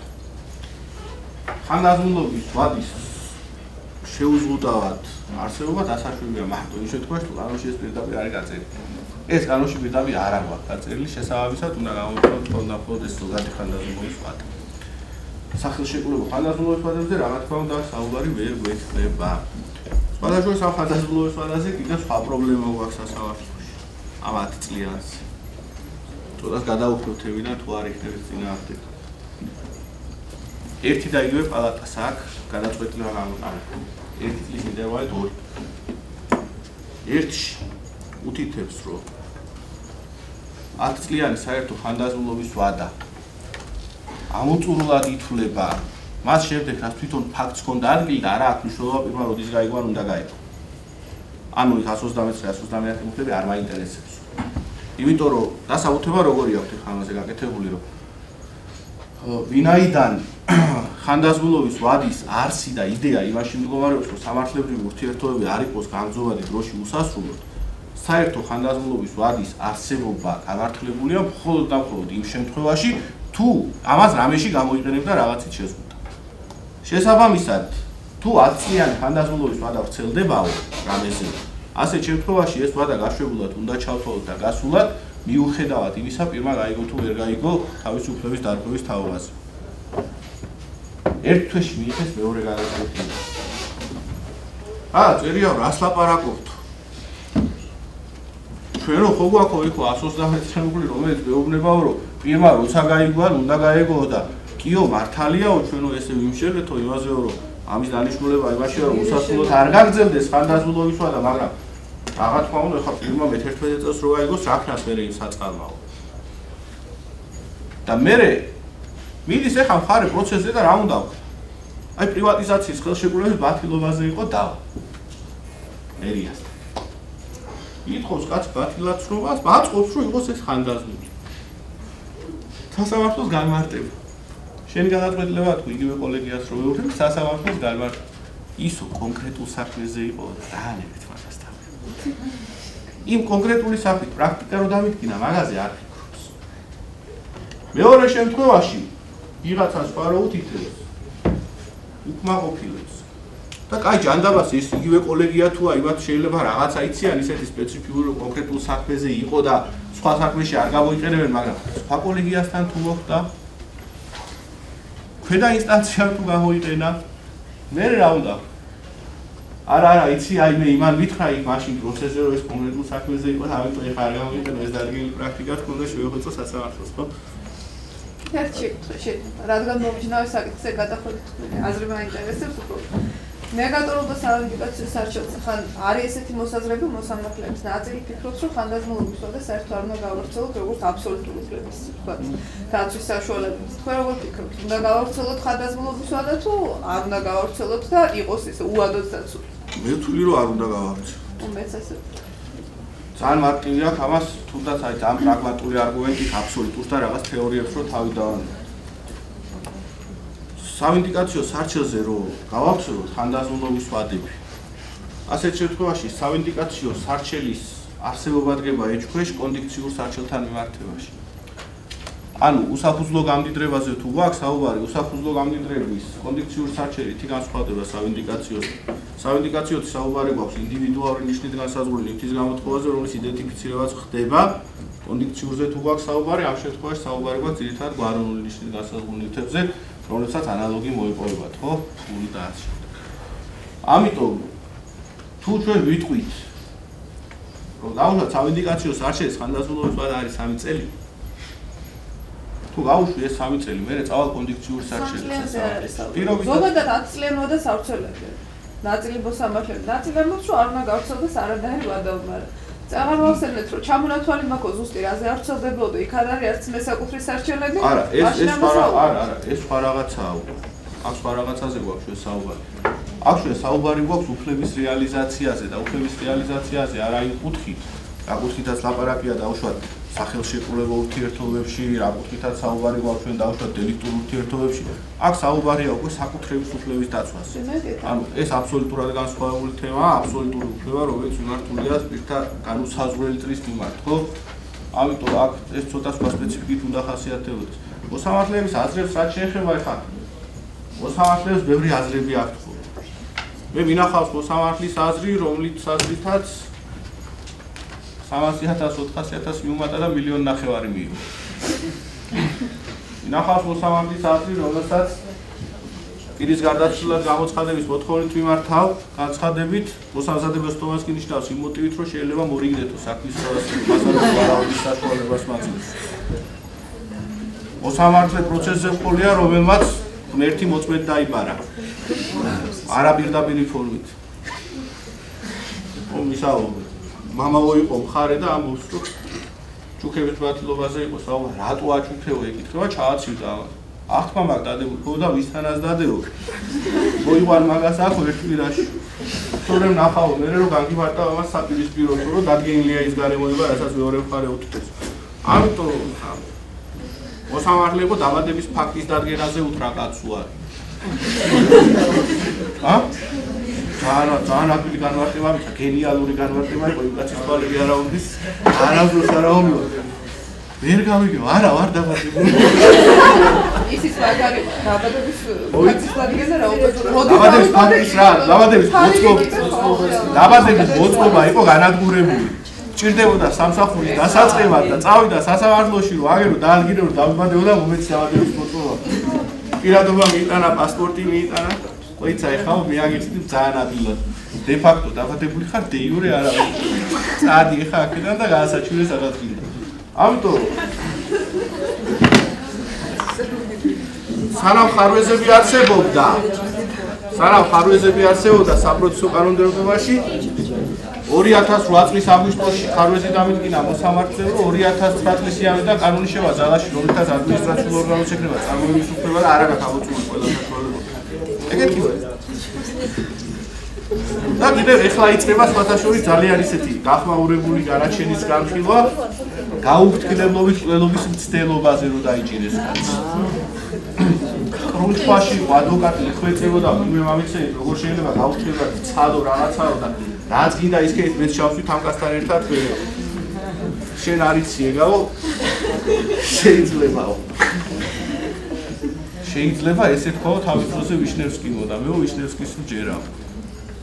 ვიშნევსკი მოიხსენება ის დადეოდა საბჭოთა პერიოდში ერთ-ერთი ყველაზე უფრო ცნობილი იდეოლოგი და ჯალათი აი, გადაუხვიეთ ახლა ჩვენ თემას, პრინციპში თემაზე არც არაფერია გასაგრძელებელი, თუ შეკითხვები აქვს, გასუხეთ. პირის გარდაცვალებით მიყენებული ზიანი რამდენი შეიძლება თქვა ამ შემთხვევაში მორალური მოთხოვნა, იმიტომ რომ სასამართლო პრაქტიკა მე როგორც შევამოწმე ბოლო პერიოდში ერთმანეთს ეწინააღმდეგება ამ კუთხით. ყველა ინდიკაციებს ერთმანეთს კი არა, მე რამეს ეწინააღმდეგება, რატომ? არის ერთი ესეთი დებულება გვაქვს ჩვენ შეიძლება ნუმერაციაში ვწდებოდი, თვითი არის ესეთი საავიაციო ურთიერთობების საავიაციო კოდექსი 78-ა 79-ე უხრი, რომლის მიხედვითაც ავიაკატასტროფის შედეგად დაღუპული პირების ნათესავების მორალური ზიანის ანაზ მორალური ზიანი აუნაზღაურდებათ ავიაკომპანიის ბრალის მიუხედავად. ანუ საგამონაკლისო შემთხვევა, როდესაც საუბარი გვაქვს იმაზე, რომ ბრალე უქმედებას აქვს არა აქვს ადგილი, ამის მიუხედავად ნათესავებს უნაზღაურებს მორალურ ზიანს. ჩემი სუბიექტური აზრი ისეთია, რომ არასწორია. მარტო ეს დებულება კი არა, ზოგადად პირის გარდაცვალებით გამოწვეული მორალური ზიანის ანაზღაურება არის არასწორი. იმიტომ რომ ხა, ეგრე თუ გავედით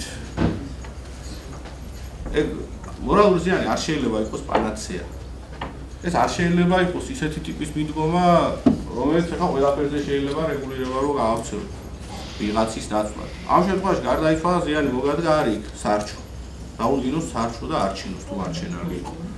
იმ შემთხვევაში თუ გარდაცვალება ამის ბრალითაა გამოწვეული, მაგისთვის არის სისხლის სამართლებრივი პასუხისმგებლობა. ეგ ხო ქონებრივია, ბოდიში რომ ეჭრება, ეგ ხო ქონებრივი ნაბიჯია. მორალი ზიანი საერთაშორისო სამართალში მაგალითად ხო არის ძალიან ჩვეულებრივი რაღაც. იგივე საინვესტიციო სამართალში საერთაშორისოში და საერთაშორისო საჯაროში. და იგივება რეალურად არაქონებრივი თან. როდესაც ადამიანი გარდაიცვლება, თვითონ ის რომ ადამიანი გარდაიცვალა, მაგის შედეგად შეიძლება მიიღოს ზუსტად ეგ ორი ეს ზიანი ესე ვთქვათ, ეს მორალური, მეორე ქონებრივი. იგივე ეს თვალსაზრისით ეგ ხო დაცვლადია წესი. ხო?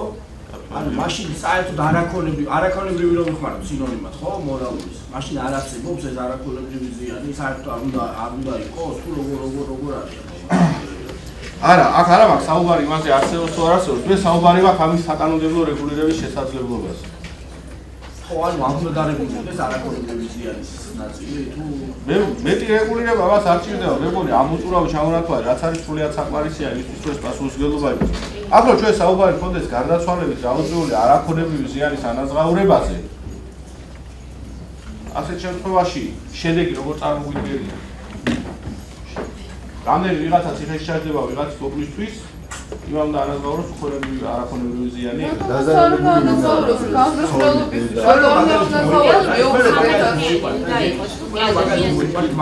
ადამიანის სამწლობის ადამიანის ჯანმრთელობის ზიანი მიერ გადაგამყოლად ის ცუდად გრძნობს თავს, რადგან არ არის რომ მისი მშობელი თქვათ არის იგივე დაზარალებული სისხლის სამართლებრივი თვალსაზრისით და შესაბამისად მას ზიანი მიერგა იმით რომ მასაც ხომია. იმიტომ რომ ამ ლოგიკას რო გავყვედოთ, მაშინ ამ ლოგიკას რო გავყვეთ, ეხლა რა ლოგიკით არ შევშევოთ. იგივე ჯანმრთელობისათვის ზიანის მიყენების შემთხვევაში მაშინ მოსარჩენე სუბიექტის შეიძლება მომევლინოს მე მშობელი და ძმა, ახლობელი, ნათესავი. ანუ შემთხვევაში ამ სულდა მოსაჩერებლები ის ვერ მოიწონს. შეიძლება მოწესრიგდეს კანონი ჩამონათვალების მიღება სუბიექტი. არა, შეზღუდეთ თუ მინდა, მაგრამ ზუსტად მაგაზე მაქვს ლაპარაკი ხა. უფლების, ვისი უფლების დაცვის ობიექტია? რას ვიცავ? რას იცავს კანონი ამ შემთხვევაში? შეუფლებას იცავს? არა, შობლის შობლის შობლის უფლებას როგორ? ანუ ეხლა ანალოგიური წარმატებით ეხლა ეს ვარწერია, ყველა ვიღაცა დასახიშთა ეხლა მოდიში ვიღაცა დასახიშთა და უშუალოდ მიიღო სახის წარუშლელი დავახინჯება მოაჭრეს ფეხი. ცოცხალია. თუ დაუშვით ეს საკითხი ხა მაშინ იგივე წარმატებით შეგვიძლია. რატო? იმიტომ რომ ის ცოცხალი ის მესაუბრებელი სუბიექტი აღარ არის არა მაშინ ზიანი ადგილას ხოებს თვითონ როგორი ზიანი მიადგება? ადამიანი გარდაიცვალა. ცორსაც ვადგება რომ ესეთი ხმარი რო არა არა მაშინ ეხლა უყურეთ უყურეთ უყურეთ სადამდე გავდივართ ანი რატოა ეს საშიში? აი უკვე წავიდა. რატოა ეხლა ეს ყველაფერი საშიში? ეს ძოლი ყავს, ბარი ყავს. ამ შემთხვევაში მე შეიძლება ვიღაცა რო დასახიშდა იმას, ცოლი გაშორდა, ვიღაცა ზურად შეხედა, რაღაცა მოხდა კიდე ესეთი პირადი ცხოვრება დამეგრა, მე ხა ამისი კომპენსაცია მომიტანოს. ეს აუ, ჩემი სუბიექტური შეფასება შეიძლება რაღაცა ნაწილში სწორგზადების და შესაძლებელია ეს იყოს ფულადი კომპენსაცია, შეიძლება იყოს ვიღაცისთვის რაღაცის სატისფაქცია და დაკმაყოფილება, მაგრამ ამავდროულად ეხა დაუშვათ შესაძლებელია ამან უკუ რეაქციაც მიცეს და უკუ შედეგიც იმ თვალსაზრისით რომ ახლა კაცი მომიკვდა ახლა ამდენი გაკეთე ეს კაცი მომიკვდა და შენი ფული რაღაცი მჭირდა ეგეც არის პირობა და ყოველთვის მე რა ვიცი არაგონებული ზიანზე არის საკმაოდ მაღალი ზღუდელი მიცემის რომ აი მას გადა გადააბიჯო და კონდეს საფუძველი მოთხოვს არის ეგ ორგვარი მიდგომა შეიძლება იყოს ერთი იყოს რაღაც ყოველთვის როგორც ეს სასამართლო იმუშავებს ამას და განში ასე დაწერია ხო როგორც წესი აი ეს კრიტერიუმი ობიექტური არ არის მაგრამ საკმაოდ რთულია მაგის დამტკიცება არაგონებული ზიანს ამერიკელს აი თქვენ რომ მაგალითი მოიყვანეთ მაკდონალდსზე ხო ის მორალური ზიანი იმდენად არის რომ რამდენად იყო punitive damage კი. ცალკე ცალკე ესეთი რაღაცა punitive damage მიზანშია სხვა ანუ ის მიზანშია სხვა ხო? ანუ რას ემსახურება ამგვარი კომპენსაცია? არის compensatory damages არის actual damages და არის punitive damages actual damages მარტივია ანუ რასაც განიცდი რეალურად compensatory damages ფაქტიურად შეიძლება მოიცავდეს მორალის რაღაც ნაწილს და არის punitive damages, რომლის მიზანი არის დაკილოთ დასჯა ზუსტად წინასწორებად ხომ მაგაში. და საჯარო წესრიგი არის მთავარი.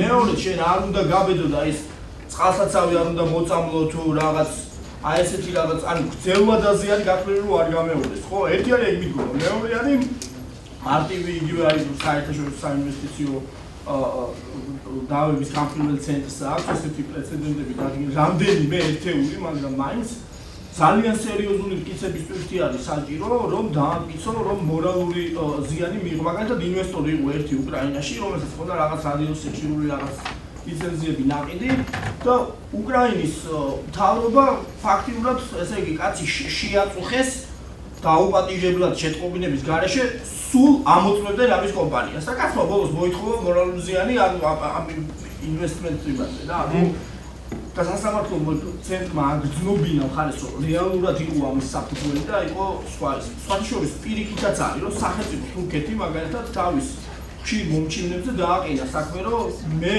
როგორც სახელმწიფოს მეახება საქმე და ამიტომ მორალური ზიანი მაგდიბაა ხო? ანუ აქ მტკიცება არის ძალიან რთული ძალიან ცხადი და ესეთი მაგრამ მან შესაძლებელია. ჩვენ რაზე დავსაუბრობთ იქ ჩემი ასე შეუძლია არა მე უბრალოდ იმას ვაუბრობ. არაკონებრივია აქაც ხო ანუ საერთოსგან და ეს მარტივია ცხოვრება რა თქმა უნდა როდესაც არაკონებრივი არ აქვს იმიტომ რომ იქ მაინც რაღაც ობიექტურ კრიტერიუმს ეძებ ბიზნეს შედეგობრივ კავშირსაც ადვილად მეტაკლება ყოველთვის ადგენდა კრიტერიუმის მომონებას უფრო მარტივი ვარ. არაკონებრივზე ბევრად უფრო ძნელია ხო ეს თქმა უნდა სტრატეგი მაგალითია მაგის ხო? ზოგან შეუძლებელი ზუსტად მაგაზე გვაქვს საუბარი. ძებნა შეიძლება იმისი რაც არსებობს. როცა ლაპარაკი გვაქვს ჩვენ იმაზე რომ დაუშვათ პირი რომელიც გარდაიცვლება მაგის მშობელს მივცეთ პირობითად უფლება რომ მიმართოს სასამართლოს მორალური ზიანის კომპენსაციისთვის. რა უნდა ამ შემთხვევაში ხო არ გეჩვენებათ რომ იმ თავითვე რაღაცა გარკვეული პრეზუმფციები ექნება სასამართლოს. აი როგორ შეიძლება მოწინააღმდეგე მხარემ დაადასტუროს ის და დაუმტკიცოს ის, რომ შობელშვილის გარდაცვალებით ზიანი არ მიადგა და სულიერი ტანჯვა არ გაჩნდა. რითი არის პრეზუმფციის არსებობა? პრეზუმფციის არსებობა, იმითი რომ ეს დავა აღარ არის. რა რატო არ არის? არა, ეს არის პირისპირ ამტკიცოს, რომ მეორე სამშობრივი დავა მართლა აღარ არის. როგორ? აქ დავა არ არის. ეს არის ფორმალურად რომ სასამართლო შენ უნდა დაგიტყას ბეჭედი იმაზე რომ ვიღაცა რომ მოკდა ამისთვის გაძლევენ ფულს ეს არ არის დავა ხო და რამენად გეტყობა სამართლებრივი არ არის მაგრამ რეალურად ხო მარკ წესრიგის აღდგენას თუ სამართლიანობის შეგრძნების არის სამართლიანობის აღდგენას ხო ემსახურება მარტო ის არ უნდა იყოს რომ რაღაც სამართლებრივი საფუძველი არსებობს. კანონი შეიძლება ითვალისწინებდეს რაღაც სიკეთეს იცავდეს. არაკონობრივი ზიანის დაცვა კანონისთვის არ არის სუდი ალბათ. იმ პრეზუმციას არა, მაგაზე არ გიდავე. მაგაზე ამბო არაკონობრივი სიკეთის დაცვა კანონის სუდი არ არის კი არა აუცილებელი. უბრალოდ აქ დამოკიდებულება მე რაზე მაქვს საუბარი? საუბარია იმ სუბიექტზე, ვის ეკნება აქ ოთხონის უფლება.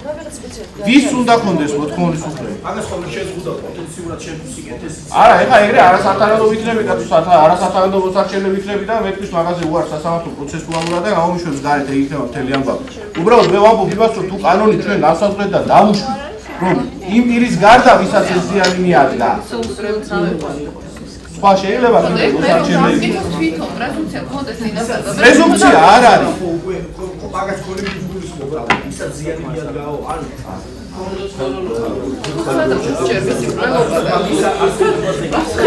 ანუ ის მიმართაც ემოქმედება გახორციელდა მოდი ესე. ნუ ყოველ შემთხვევაში ძალიან სადაო საკითხია, ეს არის ისეთი რაღაცა, რომელიც ალბათ უფრო საკანონმდებლო რეგულირების სფერო. იყო რაღაც შეკითხვა? კიდე შეიძლება. და მოდი ბარე ამოწუროს ალბათ. ალბათ. უდენესალ პრეზენციასთან დაკავშირებით მაქვს ანუ ეს. თუ კი აა გამოდიოდი მე კონკრეტულად მოძინება, სასამართლომაც დაადესტურა რომ ეს იყო ფაქტი, შევაფასე რომ რომელიღაცა შეოდება, თქვა უკვე ჩაიწერა. სადღაც რა.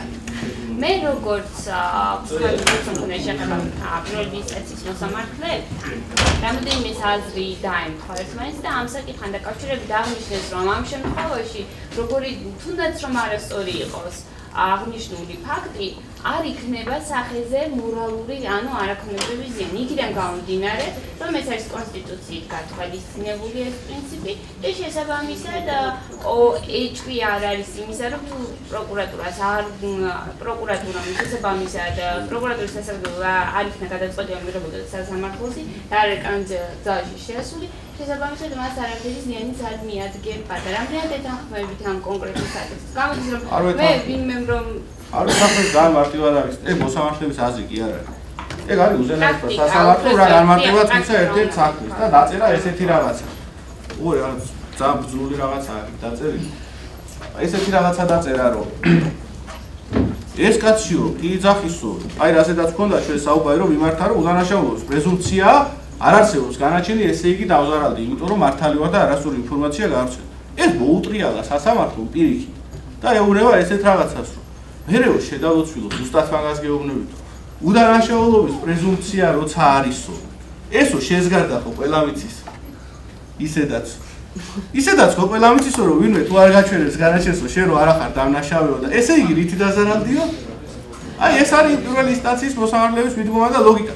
მაშინ შეკითხვა იფადება ძალიან მარტივად, რას იცავ? ყველა მიცის ისედაც ეხა მოდი ნახევარი თბილისი გიწრობს ვიღაცა გაიხაჩება და ყველა მიცის მე რა კაცი ვარ და რაღაც უჭახუნებენ ავსადუეზოს იწრობს ნახევარი ვიც ვიცნობს არ დაიჯერებს. ვინც არ ვიცნობს ან ვინც ვიცნობს არ დაიჯერებს როგორ შეიძლება ლოგიკა იყოს იმისში რომ სასამართლო სამართლებრივად უარი მითხრას მე მოთხოვნის დაკმაყოფილებას. ანუ ზუსტად მაგას ვამბობ რომ ლაპარაკი არ შეიძლება მაგ მიდგომით და მაგ მიმართულებით ეხლა. უთანაშაულობის პრეზუმფცია დამირგვია კაცმა დანაშავე ხარო მეძახის და განაჩენი არ ამაფარა სახეზე და ამიტომ ვეუბნები რომ შენ მე ზიანი უნდა მინაზღაურო და სასამართლოსგან პასუხავ ღებულობ იმას რომ ეს ხო ყველა ვიცის რომ უთანაშაულობის პრეზუმფციაა და თუ არა განაჩენი ისედაც ვირას დაგაბრალებ შეგაცო და რაღაციანი სანაზღაურებას ითხოვო რომ მეუბნება და მეორეს მხრივ მეორეს მხრივ კანონში მიწერია რომ კანონის არწმუნდა არათავისუფლებს პასუხისგებლობისგან ხო ანუ უშვებთ იმის ალბათობას, რომ შეიძლება არ იცოდეს ყველა მესკარი. ამ სეცნაუდან სხვა გვარი პრაქტიკა, ან პრაქტიკა ერთ შემთხვევაში ყოფილა, რომ სხვა გვარად განმარტავს. არა. არა, იცით რატო? იმიტომ რომ ძირითადად ესეთი შემთხვევა იყოს 3-4 და ყოველთვის შემთხვევა იყო ისეთი, როდესაც ოპასუხე მხარეს წარმოადგენდა მართველი სახელმწიფო გუნდის ერთ-ერთი წევრი. კამერათ იყო ეს განსხვავებული ფაქტორი ან არ იყო ვერ გეტყვით მაგაზე არა გვაქვს საუბარი მაგრამ ყოველ შემთხვევაში ფაქტია რომ ესეთი ტიპის მოთხოვნები სასამართლოსიდან არ დაკმაყოფილა თუ დაკმაყოფილა და ერთხელ გითხარით სახელმწიფოს წინააღმდეგ დაკმაყოფილების ნახევარი კაცი გამოვიდა 7 წლის მერე ციხიდან. იმიტომ რომ არაფრის გულისთვის ისდა და კიო კაცო შენ რომ მოდგომია ყველანაირი ზიანიო და აგერო შენ 9000 ლარი აგერ 1000 ლარი მორალური ზიანისთვის და წადი ხა დაჯექ სახში აი ყოდაი აბა ვის ხონდა შეკითხვა? ანუ მე მქონდა რომ სამასე კონტრაქტ სპორტაში თუ ჩანაწერი შეიძლება გავცადოს მორალური ზიანთან დაკავშირებით პირების შეთანხმება რომ მორალური ზიანის ანასწორება შეიძლება გაუქმებულ მეხანებული ფორმა. ეს არის ჩვეულებრივი სახის ზიანი. უბრალოდ ზიანის კატეგორიებად თუ დავყოფთ, არის სპეციფიკა, მაგრამ არის მაინც ზიანი. ზიანის ანაზღაურების ან გათავისუფლებაზე წინასწარ შეთანხმება გათლია და დაუშვებელია, ეს არის აქტიურობა. ბატონო? აა მე მაინც თქვი რომ არ როგორი ფორმითაც არ უნდა იყოს. იმიტომ რომ ასეთ შემთხვევაში ვერ ასე გვაქვს საუბარი, ხა ჩვენ ბრალისთან შევამსუბუქებთ და დავამძიმოთ მაგის მიუხედავად. ზიანის ანაზღაურებაზე ვამბობ უარს. თანხდები ხო? თუმცა კანონი მე ამას არ გავაკეთებს. კანონი სადაც საჭიროდ თulis იმას რომ ეს გამოირიცხოს, იქ გამორიცხული არის.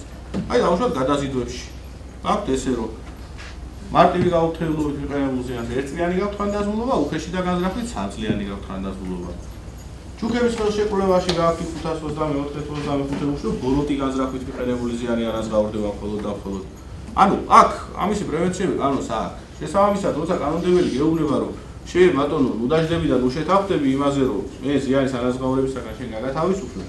აა ძალიან მარტივი მიზეზი აქვს და ძალიან მარტივი საფუძველი ყოველთვის სადაოხდება. ყოველთვის სადაოა ის ფაქტი, რამდენად ნებელობითი მომენტი იყო ერთ-ერთი ხარის მხრიდან ასეთი ტიპის დებულებაზე ხელის მოწერა. ამიტომ აქ მართალია კანონი გაძლევს თუ სულ თავისუფლებას მე ერთთან შედარებით რა თქმა უნდა, მაგრამ ეს სულ თავისუფლება ეხა როგორი ყოველთვის ერთ-ერთი ესე ტერმინი იყო კომენტარში, ლაგამიშვებული პროცენტი ესე ეწერა, არ შეიძლება ესე არ იყოს, ეხა იქ ვარგე და ყველაფერი თავიდან ბოლომდე მიუშვა და ხელის მოწყით გადაუარა. არ ამგონი. შესაძლებელი არსებობს რაღაცა განსხვავებული. ანუ ერთი ესეთი კითხავს, როგორც თანახმდეთ, ანუ მორალური ზიანისთვის კანონის გაფორმებული არის 4 შემთხვევა, ნუმეროს კლაუსის პრინციპი მოხდა. თუ შეიძლება ასეთ შემთხვევა ავიღოთ, რომ მაგალითად საავტორო და მომიზნეობების შესახებ კანონით არის გათვალისწინებული შემთხვევა, რომ ანუ პირადი არაქონები უფლებების დარღვევის შემთხვევაში ანუ უნდა ანაზღაურდეს მოცემული ზიანიც. ეს გავა ასევე ამ ოთხ შემთხვევაში თუ დამატებით საფუძვლად შეგვიძლია ეს ერთობლიობაში განიხილავს სასამართლო. განიხილავს ავტორ და ომიჟავი უფლებათა შესახებ კანონის პლუს სამოქალაქო კოდექსის 18 პუნქტი. ასევე რეკლამის შესახებ კანონში არასწორი რეკლამის გავრცელება, არასწორი ფორმით მიწოდება, განიხილება რეკლამის შესახებ კანონით პლუს სამოქალაქო კოდექსის 18 პუნქტი. ой, წაღან დამავიწყდა ერთი შეკითხვა. სასამართლოს ესეთი მიდგომა აქვს, მე არ ვეთანხმები და მაინტერესებს თქვენი აზრი. როდესაც მასობრივი ინფორმაციის საშუალებებით არის გავრცელებული რაღაცა ინფორმაცია, ამ შემთხვევაში იყენებს სიტყვის და გამოხატვის შესახებ კანონს. ხოლოდ მე-18 მუხს არ იყენებს და როცა ვთქვათ ადამიანი მიუთითებს რომ რაღაც ვიწრო წრეში ან აუდიტორიაში მაგალითად აქ ან სადღაცა. ანუ არამედია საშუალებებით არის გავრცელებული არასწორი ინფორმაცია მაშინ არ იყენებს სიტყვის და გამოხატვის შესახებ კანონს. ანუ ამ დროს იმ კანონის მოწესრიგების სფეროში არსად არ მიწერია რომ მარტო მედია საშუალებებზე ვრცელდება და იყენებს მარტო მე-18 მუხს და შედეგი რადიკალურად განსხვავებული იმდრო რომ მე მაგალითად ვთვლი რომ მე-18 მუხლის სხვა რაღაცას მეუნება სხვა სტანდარტს მიდგენს და ის კანონი სხვა სტანდარტსა სასამართლოს ამ პოზიციას რო ერთზე მარტო იმ კანონის მოქმედებას ავრცელებს და მეორეზე მე-18 მუხლისას თუ ეთანხმები მეც ვფრედა ვერავით არ მიჯნას რატომ უნდა გაარიგინოს სასამართლო ეს კრიტერიუმი. ანუ თუმცა მაგაში არ არის მე-18 მუხსა და კანონის შორის. მე-18 მუხსა და კანონის შორის ზღვა შეიძლება იყოს და არის, მაგრამ როცა ზღვარზე გვაქვს საუბარი ეს ზღვარი არ შეიძლება შემოიფარგლებოდეს ხალხის რაოდენობით. რასაც იყენებს რეალურად სასამართლო პრაქტიკაში. ანუ მე თუ გამოვედი 300 კაცის წინ დახურულ სივრცეში და იქ რაღაცა ვთქვი, ამ შემთხვევაში ერთი კანონი მაქვს, ტელევიზორში თუ გამოვიდა ზუსტად იგივე ვთქვი, ასეთ შემთხვევაში მაქვს მეორე კანონი. ანუ ზღვარი არც ერთ შემთხვევაში არ მერყეობს ხალხის რაოდენობაზე. ზღვარი მერყეობს გამარტებაზე, ზღვარი მერყეობს შეფასებაზე, ზღვარი მერყეობს ფაქტის განსაზღვრაზე, მაგრამ არა ადამიანების რაოდენობაზე. ამ მნიშვნელობა აქ ახლა აქ ვიტყვი ვიღაცაზე რაღაცას თუ გავალდა ტელევიზორში ვიტყვი რატო უნდა იყოს სხვადასხვა კანონით რეგულირებული ეს? კაც კიდე შეკითხვები აი შეკითხვები თუ არ არის მაშინ მადლობას მოგახსენებ ყურადღებისათვის. აა წარმატებებს